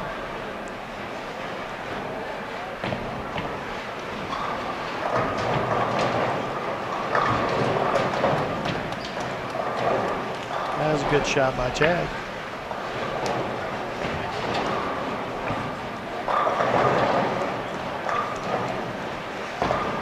Aaron Smith not here today. He's in Reno for the opening of the women's championships. So uh, I'm the guy with the pen and calculator now, uh, tallying things up for you, and we'll have those numbers at the conclusion of game two. We'll know exactly what they need if they're going to make a push here, and uh, looking for their third consecutive top five finish, motion plus lanes. That's impressive right there, for sure. And we got we got we got a team that that, that it's a, it's just a fun to bowl with. These guys, our guys are a lot of fun to bowl with, and that's that's what makes it that's what makes it enjoyable. If you're going to travel across the country, at least you want to enjoy yourself.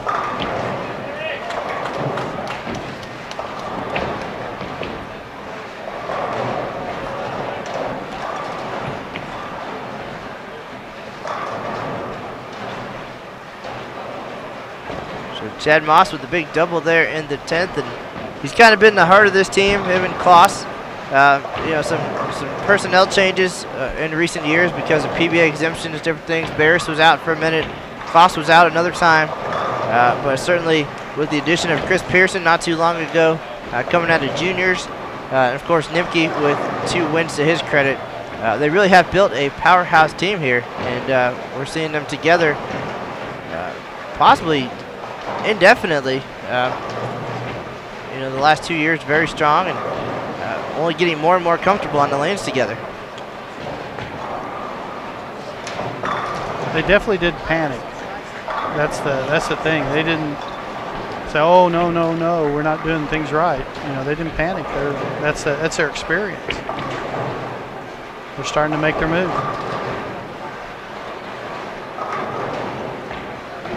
They've done this long enough and had enough success at various levels of the game to, know. Uh, you know, a lot of teams will come in with a strategy, and the minute they throw a shot in practice and the ball doesn't hook, uh, it's abandoned, and every man for himself. But uh, if you have a game plan coming in, you got to ride it out. Uh, you know, you kind of know when it's time to, to go to plan B, but sometimes you just have to wait for things to develop, and they certainly have done that. 977 start, not a bad start, but uh, a huge game two right here. And uh, we'll see them make their move. Game three coming up in just a minute.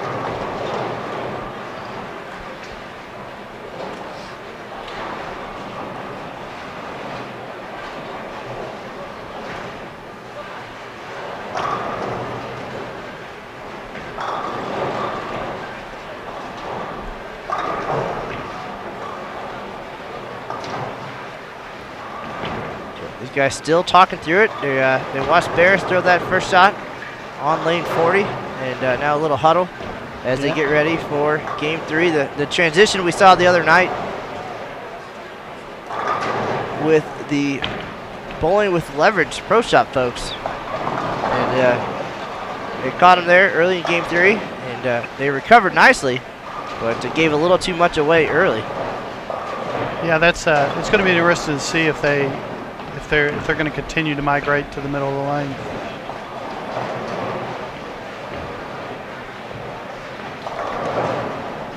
This team kind of chose when you if you watched them from the start, they kind of chose that they're going to play straight lines for the most part, and that's uh, you know they they made their bet, and it, it seems to be paying off for them right now. Um, and hopefully they'll uh, see the reaction and make the right moves. And another 1151. That's huge.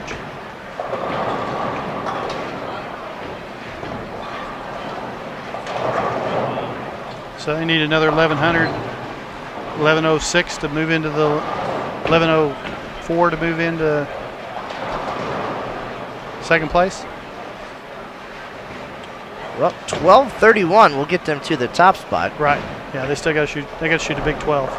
But that team, we've seen the, a team already shot 12-25 in the last game to get to 31-49, right? So 12, 12-31 with this team might not be unreasonable. Well, they've they've shot the big numbers before, Absolutely. and uh, certainly capable. Lanes are working in their favor right now, but you are correct. 11:03 will get them into second place, and certainly be a nice head start for Team All Events tomorrow. But uh, they're, I'm sure, very focused on that top spot right now. 33:59, Junior Team USA support. Yeah, if they, if they get there, it's gonna. They, they hopefully Nimke uh, has made uh, the right choice.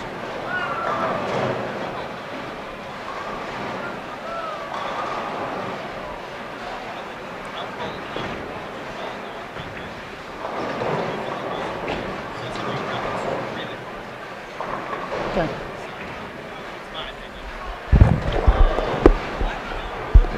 I think, I think that's going to be the way it's going to go.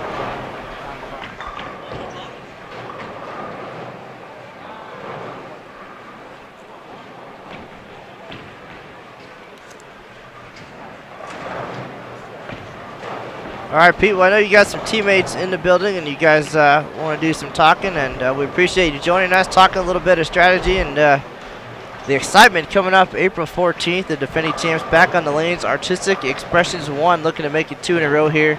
37-20 to take home the win last year, and uh, going to go watch Game Three. We appreciate you joining us, and any last parting words for the Bowl TV audience?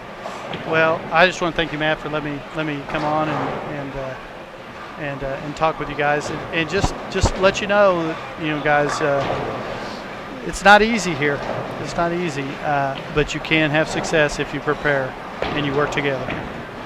All right, folks. Teamwork, the key to success here at the Open Championships. That is Pete Thomas, anchor bowler for Artistic Expressions 1. Thanks, Pete, for joining us. And we'll see more from Pete and his team in the coming days. We'll have them live on Bowl TV on April 14th at 7 p.m.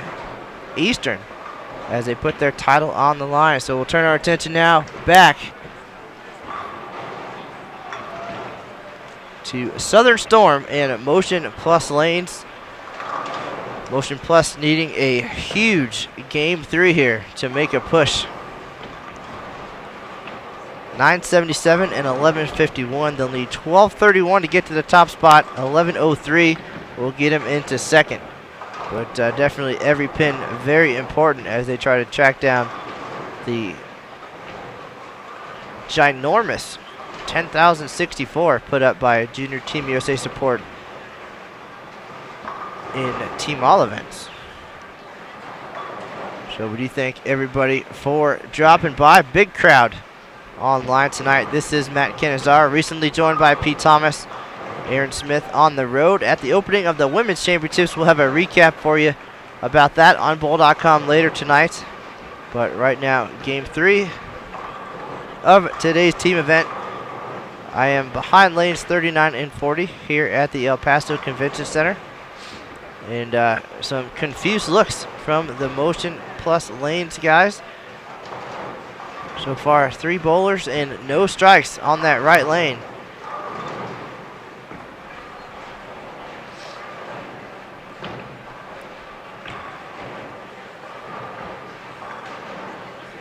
Some familiar names in the chat room. Jeff Ussery.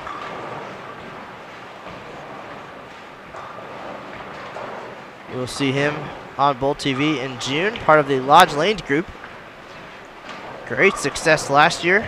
Made a run at the top spot as well. Uh, curious what pair Junior Team USA support was on for team. And Jeff, if I remember correctly, it was uh, down in the 20s, 25 and 6 maybe. We had a small squad that night uh, for the holiday weekend.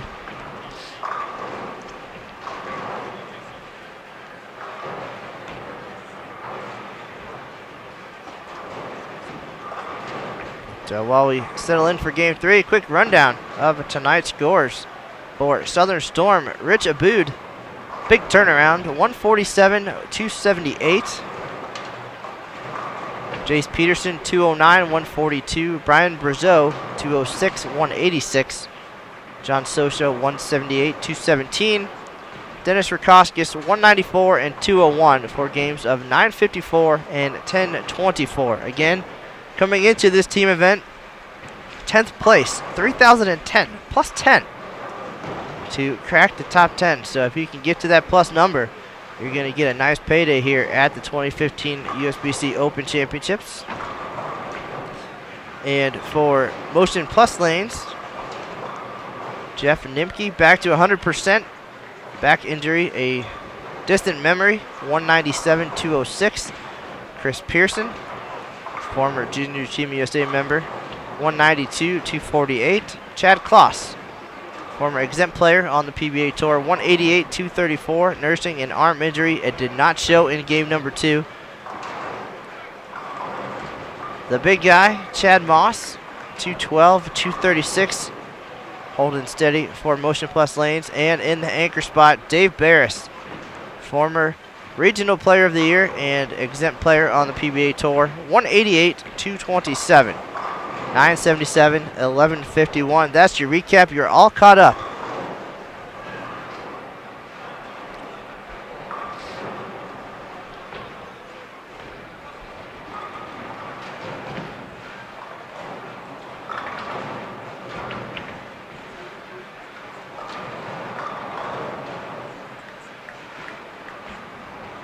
If you are curious about this team lane condition, you can visit bowl.com slash open champ, click on the lane conditions tab, and it will tell you all about this 38 foot team pattern and the 39 foot doubles and singles pattern. Those of you headed to El Paso have an opportunity to see both patterns on the exact same lanes. For the team pattern, you and your teammates can get a one hour practice session on the showcase lanes. Give you a chance to develop your own game plan and strategy. And if you'd like to see the doubles and singles pattern, you can compete in the Bowlers Journal Championships presented by USBC, a side event being held literally alongside the Open Championships. Showcase lanes, 10 lanes down at the low end of the center. 52 lanes for the main event. And the Bowlers Journal features the doubles and singles lane condition. Squat times throughout the day, also posted on bowl.com. A lot of a lot of teams finding success here by taking advantage of those opportunities. Certainly uh, terrific to have those things on site. The only way to simulate this exact environment you're pulling under the same bright lights and high ceilings on lanes installed at the exact same time as our championship lane. So check that out. More information available on bowl.com.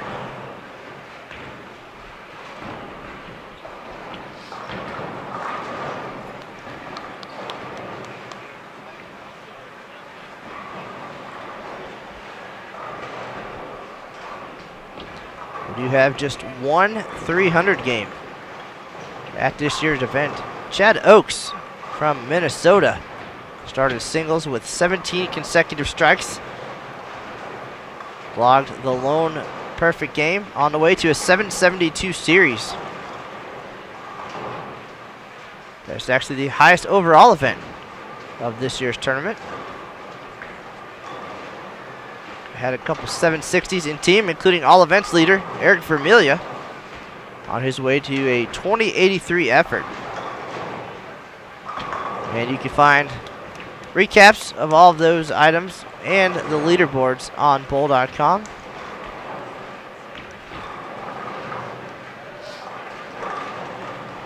appreciate everybody joining us. Thought I was going solo, but uh, Pete Thomas, one of our defending champions in the team event, nice enough to come on and give some expert analysis on this squad. We also have 2009 USBC Masters champ John Nolan His team over on 27 and 28 started tonight with 898 and 949.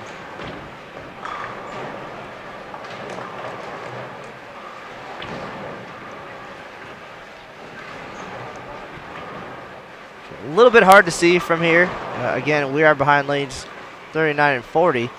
Uh, 52 sprawling lanes here at the El Paso Convention Center.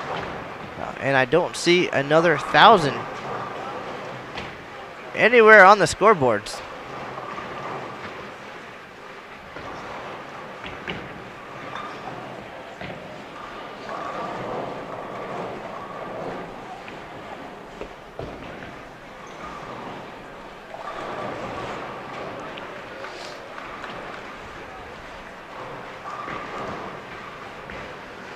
Uh, these gentlemen, Motion Plus Lanes and Southern Storm, garnering a lot of attention here.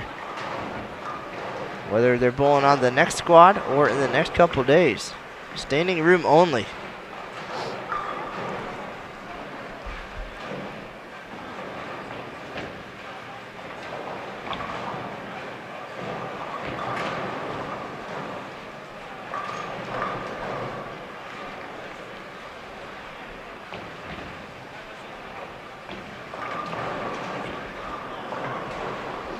This is game three of three.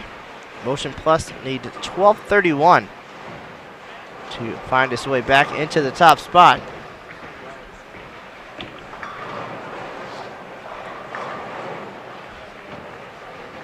Eleven oh three gets him into second. And more than likely headed into the top ten.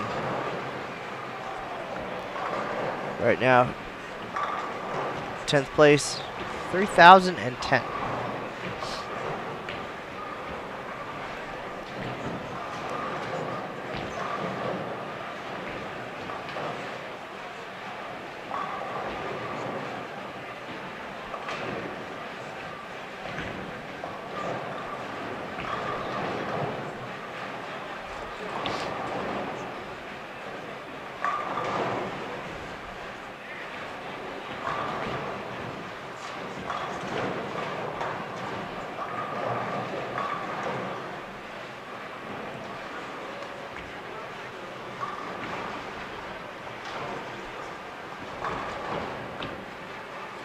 Whatever strategy these gentlemen had in practice and in game one paying off with a big game two.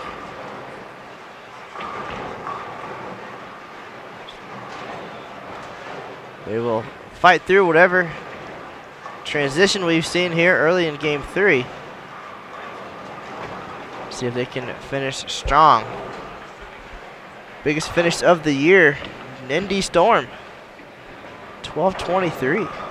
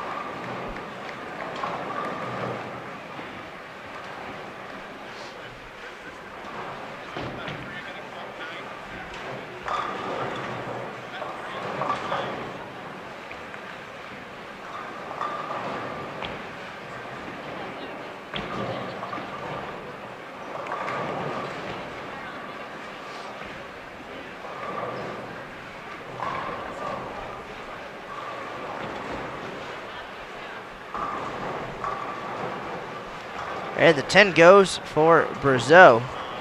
His first strike here in game three. He's got games of 206 and 186.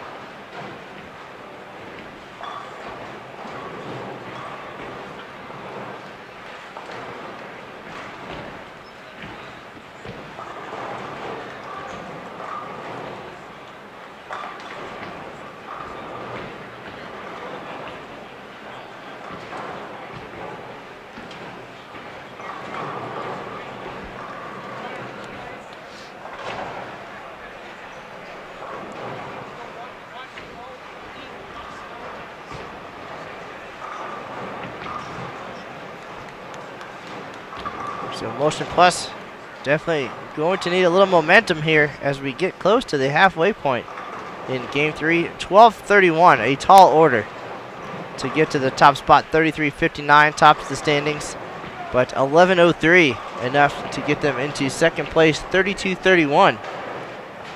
We saw three of our top four teams this week. Maybe it's the weather.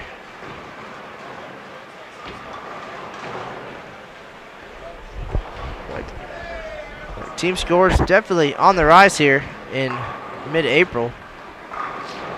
It's probably good news for our defending champs.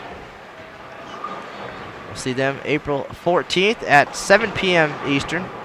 Very next day, former Team USA member Derek Eoff and his talented group of former Nebraska Cornhuskers on the lanes for doubles and singles on the 15th at 3 p.m. Eastern.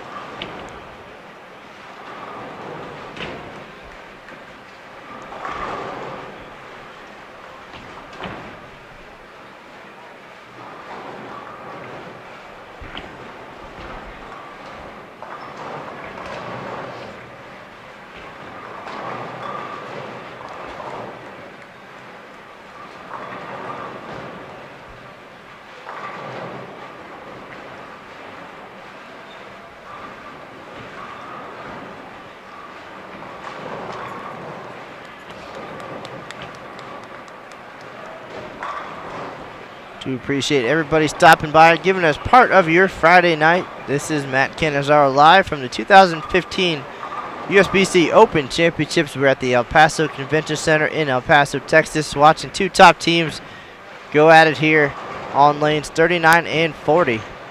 And trying to make a run at the top 10. Both of them in good position to do so. See if we can get some momentum on the back half of game number three. If you missed any of today's broadcast, you can stop by Bowl TV anytime and check out one of our archived broadcasts. Watch the rest of this one or any of our others from this year at the Open Championships. If you're curious about what's coming up, we've got one April 14th at 7 p.m. Eastern and one the very next day, April 15th at 3 p.m. Eastern. You can find that schedule on bowl.com slash livestream or go to the Open Championships page bowl.com slash open champ. Click on the information tab and you'll find the live stream schedule along with some other great information.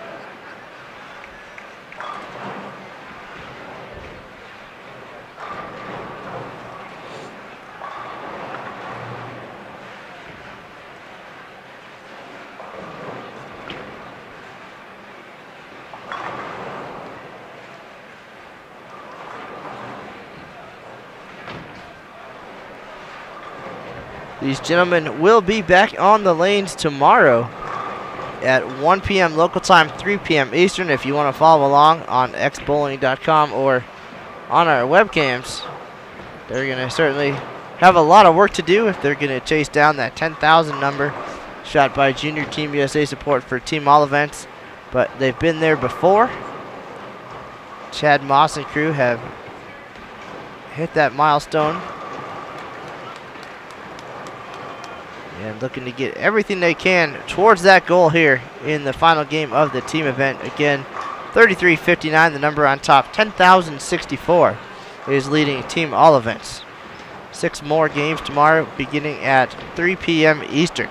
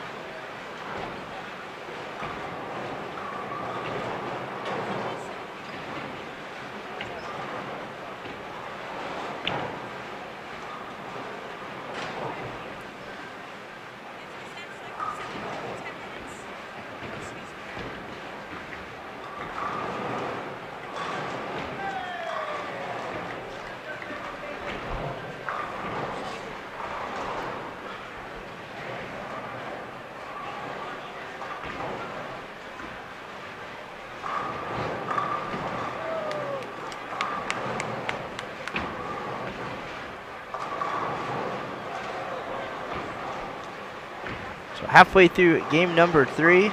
Southern Storm perfect in frame number five.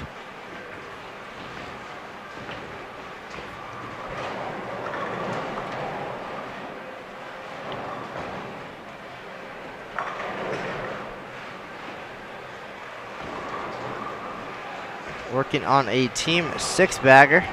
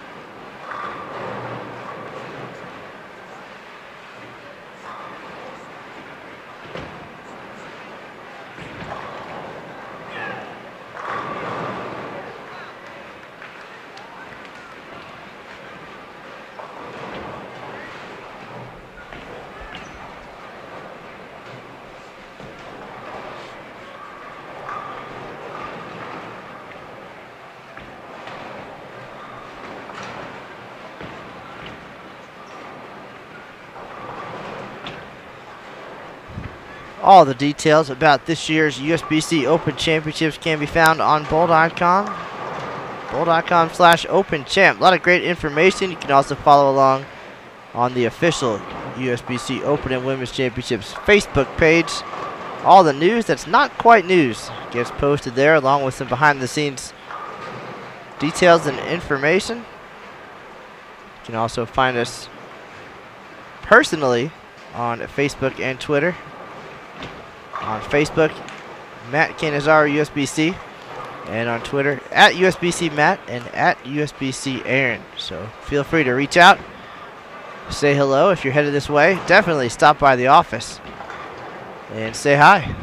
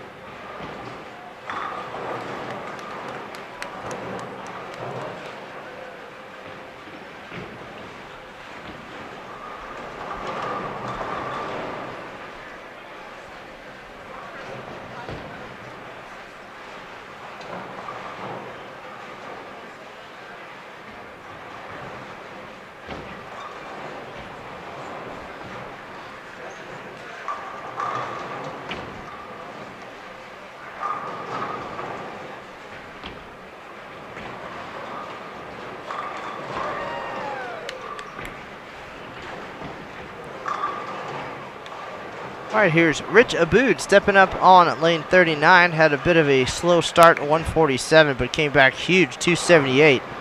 And now he's looking for four in a row here in game number three.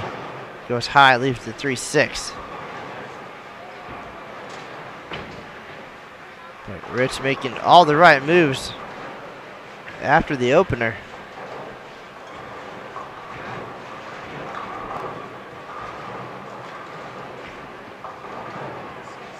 Nice break for Nimke to get the six to go. He was working on four in a row as well. That run comes to an end with the 4-7.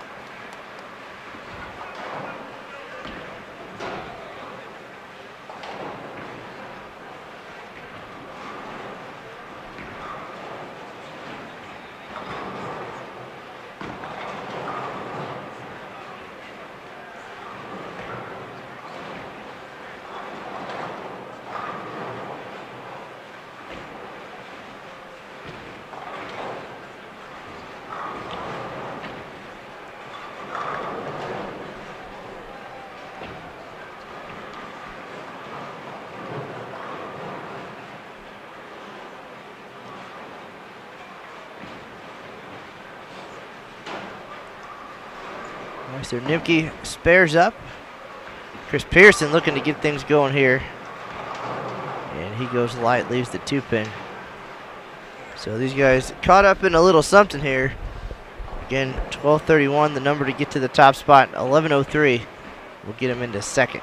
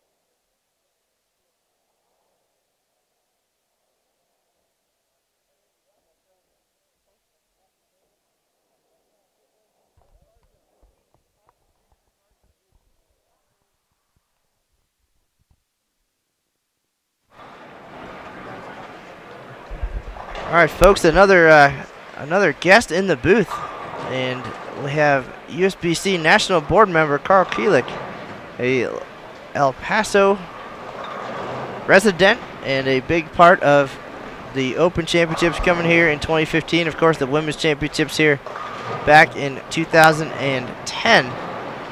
And Carl, we're just watching uh, two of these top teams battle it out here, trying to get into the top 10 here at the Open Championships. And uh, I've seen you watching pretty closely uh, for the, the, last little while. Uh, and of course, spending a lot of time here inside the venue again. Uh, welcome back. Well, thanks, Matt. It's uh, great to be here again and watch these great bowlers. A lot of fun. Well, you got the chance to see this event uh, come to fruition. And of course, all the way back from the initial bid process and now seeing the lanes get built. Took 64 days to put this venue together. Uh, and now the tide of many thousands of bowlers headed to your hometown here. Uh, what's it like to see all this come together?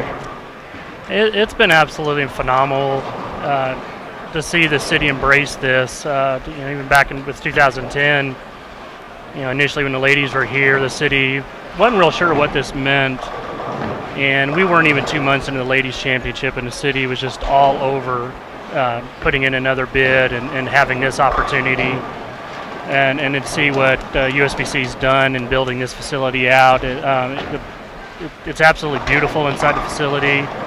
Uh, the city of El Paso has really, literally laid out the red carpet for the bowlers. Um, we're hearing great things, uh, and you know, now with the Chihuahuas opening up next door last night, uh, just that much more stuff to welcome the bowlers to El Paso and have a great time. Well, the city got kind of a, a child version, a, a, test run in 2010, uh, a little bit smaller scale, the women's championships, uh, but now the big show comes to town, and uh, we certainly are seeing that everywhere we go in town. Uh, everybody knows about the bowlers, and uh, there's welcome bowler signs in businesses all around town, and on all the flagpoles and light poles and just uh, everywhere. Uh, very welcoming. And uh, I think both the city and the event uh, learned a lot back in 2010 about what it takes to uh, have the bowlers come to town from the airports to the hotels to the restaurants.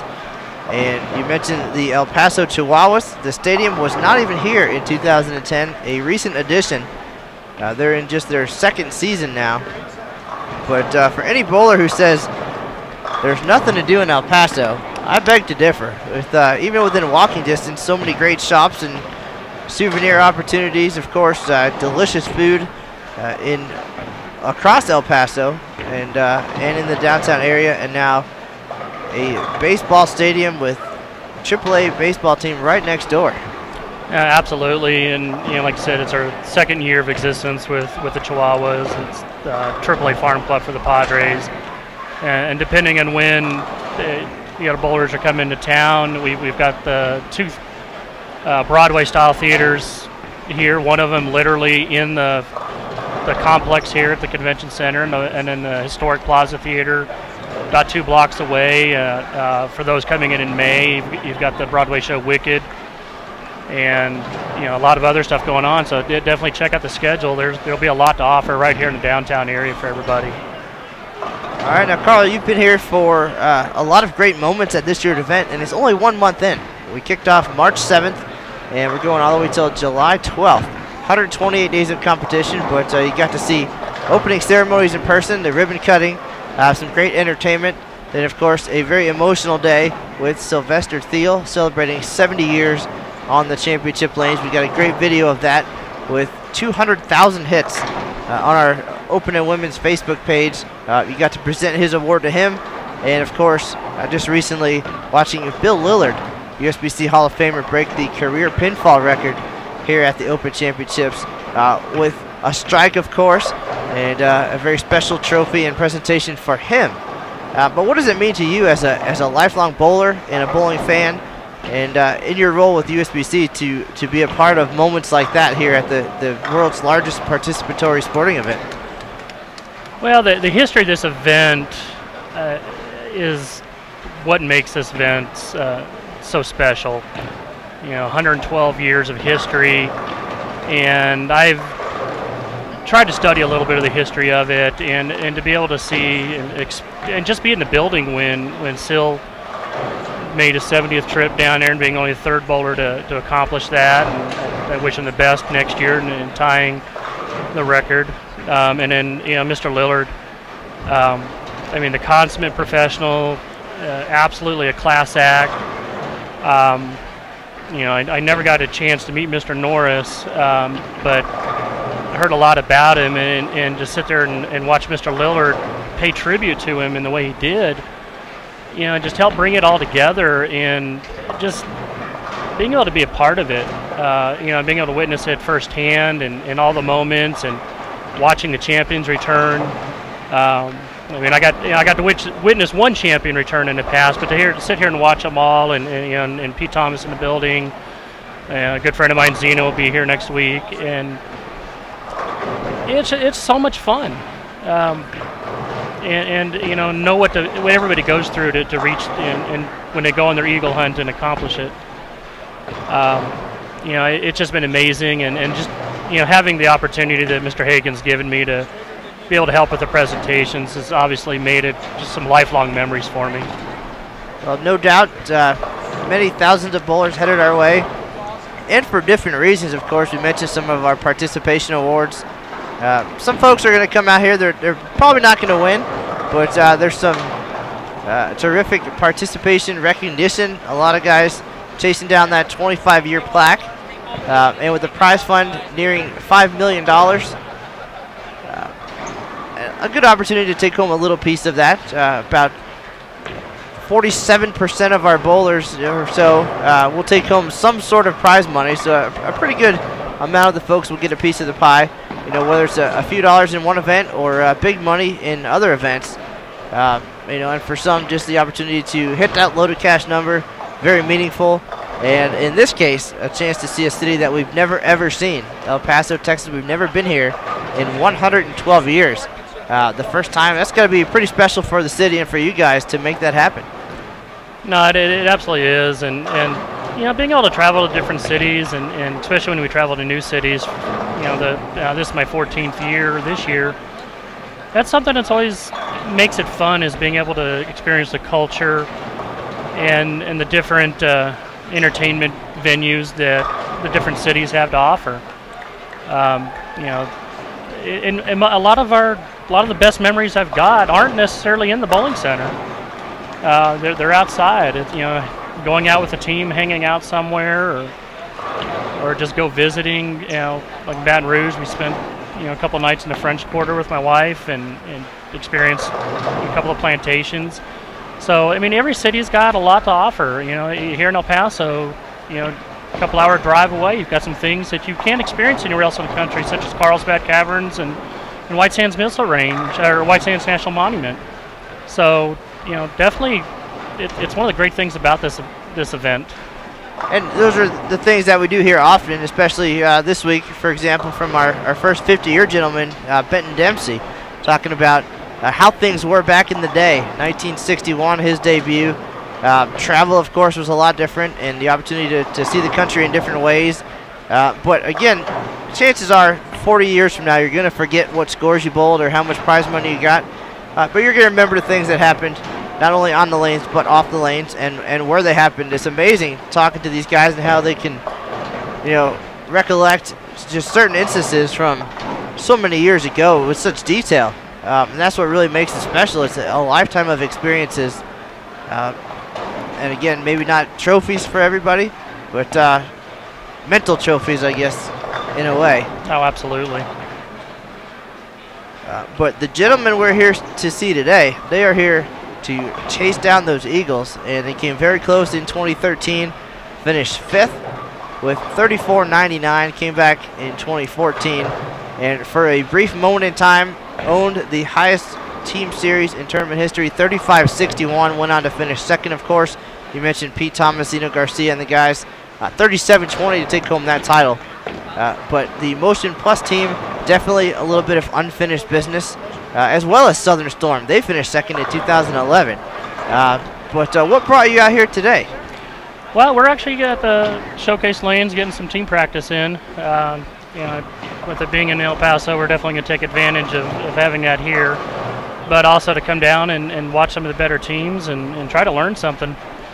Uh, you know, got most of our team here, and you know, we we're just trying to get down and learn what we can. We you know we, we're a couple months away, and we, want to have as much success as possible, like it, like anybody else does. Um, hopefully, a little built-in advantage being able to come down and get an education. Well, you certainly picked a, a good day and two terrific teams to watch. Uh, a lot of experience uh, individually and uh, and at this event. Uh, three Eagles up on the scoreboard. Uh, we just saw Chad Kloss throw a shot there on lane 40, former PBA exempt player, uh, nursing an injury. But these guys, again, if they can all be healthy in one year, um, you know, if they're that close with some different injuries and things, you can imagine when they're all strong and ready to go. No, absolutely. This is this is definitely a team that, that understands the lane play and, and lane maintenance, as you were. Um, you know, they, they understand what, what the, the modern team bowling concept is all about, and yeah, there, there's an eagle definitely in their future. Uh, they just in one year they're gonna they're gonna put it together and and hold on to that lead. You know, last year they probably would have had it, and then, you know, you got to give Pete and team just absolute credit for putting up that number that they did last year. It was just absolutely amazing. Well, this 39-foot pattern uh, certainly proving to be very challenging here in 2015. And uh, right now, being plus 10, just over 3,000 will get you into the top 10. Uh, these guys well on their way. Both teams having a, a, a decent day. They're not going to get to the top spot. 33.59 is a, a bit of a monster put up by Junior Team USA support. Uh, we've seen some close calls this week, so it's certainly reachable. Um, and every pin will be uh, just a little bit of a head start towards that huge 10,000 number in Team All events. I think, uh, if anything, is I don't want to say untouchable at this point because we've seen a lot happen. Uh, we thought in 2009 that Ron Vokes' 23-21 was untouchable, uh, and it lasted one year. Right. Uh, before Matt McNiel came in, so uh, nothing's impossible, but certainly that 10,064, a big hill to climb for any team coming in. No, it definitely is. It's you know it's the, the, patterns this year. It's it's it's really easy to give up a few sticks here and there, and patience is an absolute must. And that is the one thing that you know I've seen for several years now. is a lot of teams struggle with. They they they find it hard to be patient for whatever reason um, and this year, more so than any, I think you've got to be absolutely patient with what you're doing and, and make sure you're leaving makeable spares and get those spares. And then when the lane starts to give it to you, you got to take advantage um, and, and, and then catch the transition fast. Well, especially when the when the scores are big like they were in 2014, for sure, you uh, you don't have a lot of room. So uh, it's easy to panic, uh, maybe abandon the strategy a little bit. Uh, but you mentioned patience, of course uh, you know, these guys we're watching right now, they were patient through game number one and kind of broke out in game two. And now they're battling some of that transition you mentioned here in game three. Yeah, I was down here earlier, and we had games, uh, you know, basically frames three through five. You know, they just all seem to start getting a little bit of a bad reaction, and you know, and it, it took them a few frames to feel it out, and you know, even to some extent, uh, they're they're still fighting a little bit. Uh, you know, they may have. I didn't get to watch very early, but you know, they may not have developed quite what they wanted to see. Um, they were close, but you know, now when they've had to move in, they're you know they're they're just not clearing the fronts like they would like to, I think, and you know, seeing a lot of flat hits here. Well, Rich Abboud for Southern Storm likes what he sees. Started with 147, but backed that up with 278. And now he's trying to get back in the 230s here in game three. And nice shot there for That the nice. three bagger. So nice comeback for him. Again, staying patient, as you mentioned, and looking past that 147 start. And he's going to have a, a nice team event here. Yeah, definitely. And It's you know, with bowling, you know, you never give up. You know, always continue to battle. You know, you can always recover for some, you know, from bad starts, and, and make it back up. You know, and, and when you're bowling in that team environment, you've got to do that for, for your other guys. You know, and you know whatever side action you may have gotten into, you got you got to put it out of your mind and, and you know and battle it back. And that's what the best teams out here do. You know, they, they always come back and and work together as a team and figure it out. Very nice 235 for Rich.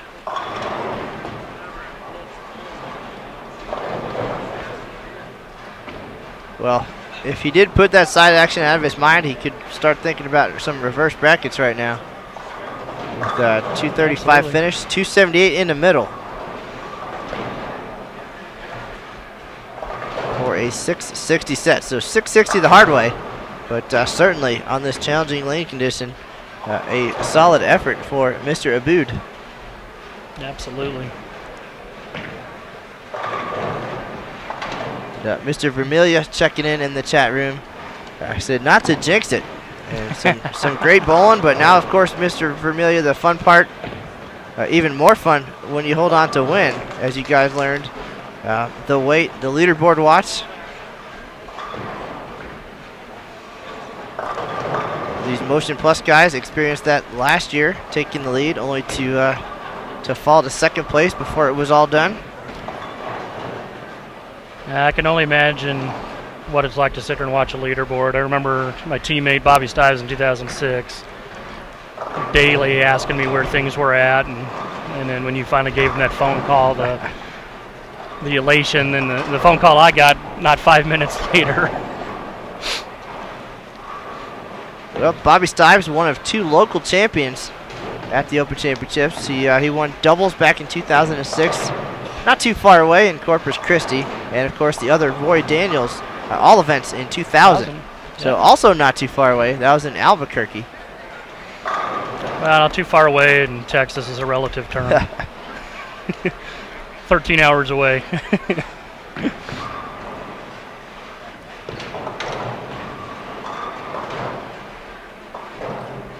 and he's he's actually over here trying to get an education also. Well, you guys certainly want to perform in front of the hometown crowd.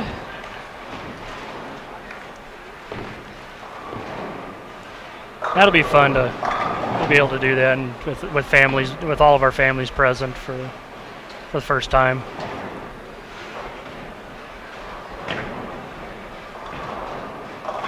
So we're watching our final shot here from Chad Kloss, the nine pin. And no doubt he'll finish a painful team event with a 196. Chad nursing a bicep tendon injury. Yeah, you can tell he wasn't real comfortable in his execution, but finished pretty strong there. Six more games to go tomorrow, and you know he's a champion. He'll figure it out.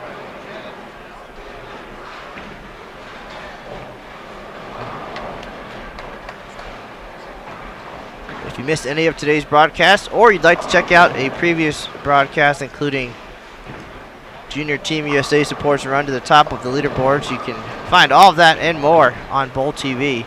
And remember to subscribe so that you won't be left out next time we kick off another great bowling event, whether it's here at the Open Championships or around the world. Lucas Wiseman getting ready to hit the road, uh, along with Aaron Smith for some collegiate action later this month. And then the USBC Queens right around the corner in May. So uh, we'll have a lot for you here on Bowl TV, including many, many more broadcasts from here in El Paso and the USBC Women's Championships in Reno, which kicks off today. Opening ceremonies uh, should be underway already, uh, if not done, with the first squad on the lanes.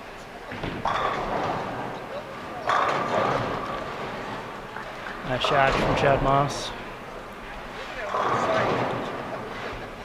Got himself a nice little place to be there. Motion Plus right now, climbing the leaderboard, already into the top five.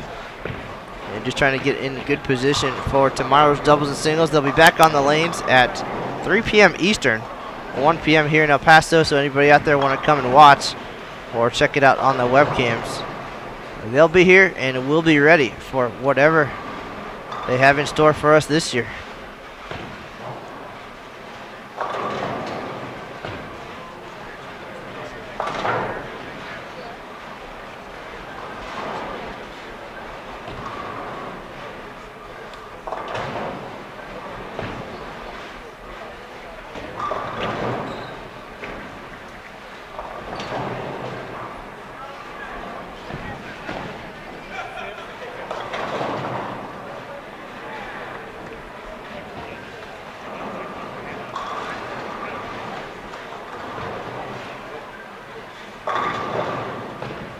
Shot there by Socha. Again, the first bowler to have two 800s here at the Open Championships. Got three Eagles to his credit. Most recent regular doubles in 2008. He is what team event away from basically the sweep. He's got like double singles and all events. Is that correct? Uh, John has uh, double singles and team. Team. Okay. Uh, team was in 1998 with Jeff Nimke.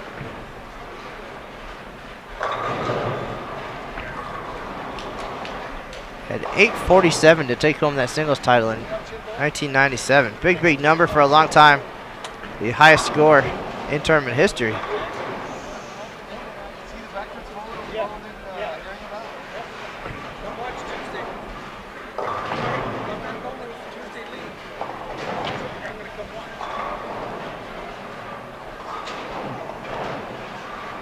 Beres can double up in the 10th here.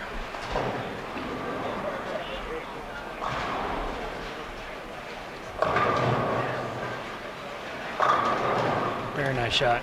The Wizard of Waukesha is his nickname. Dave Beres finishing things up here for Motion Plus Lanes.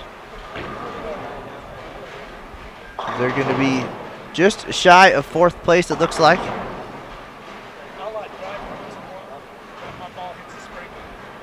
Mm, and 31-72 with a fell ball here.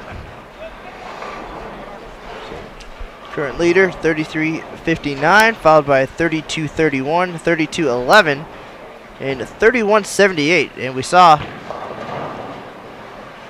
two through four this week, so uh, a good scoring week here in El Paso. To 18 for Beres.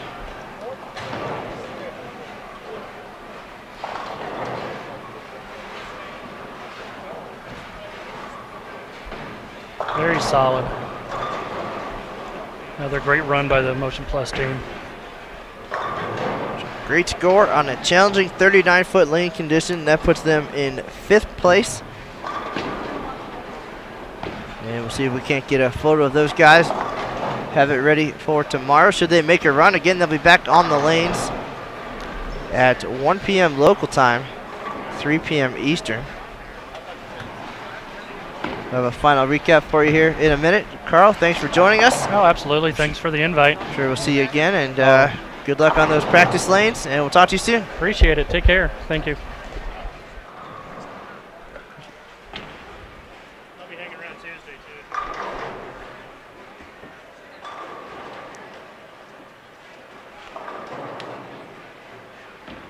Dennis Rakauskas is going to finish things up here for Southern Storm. 228.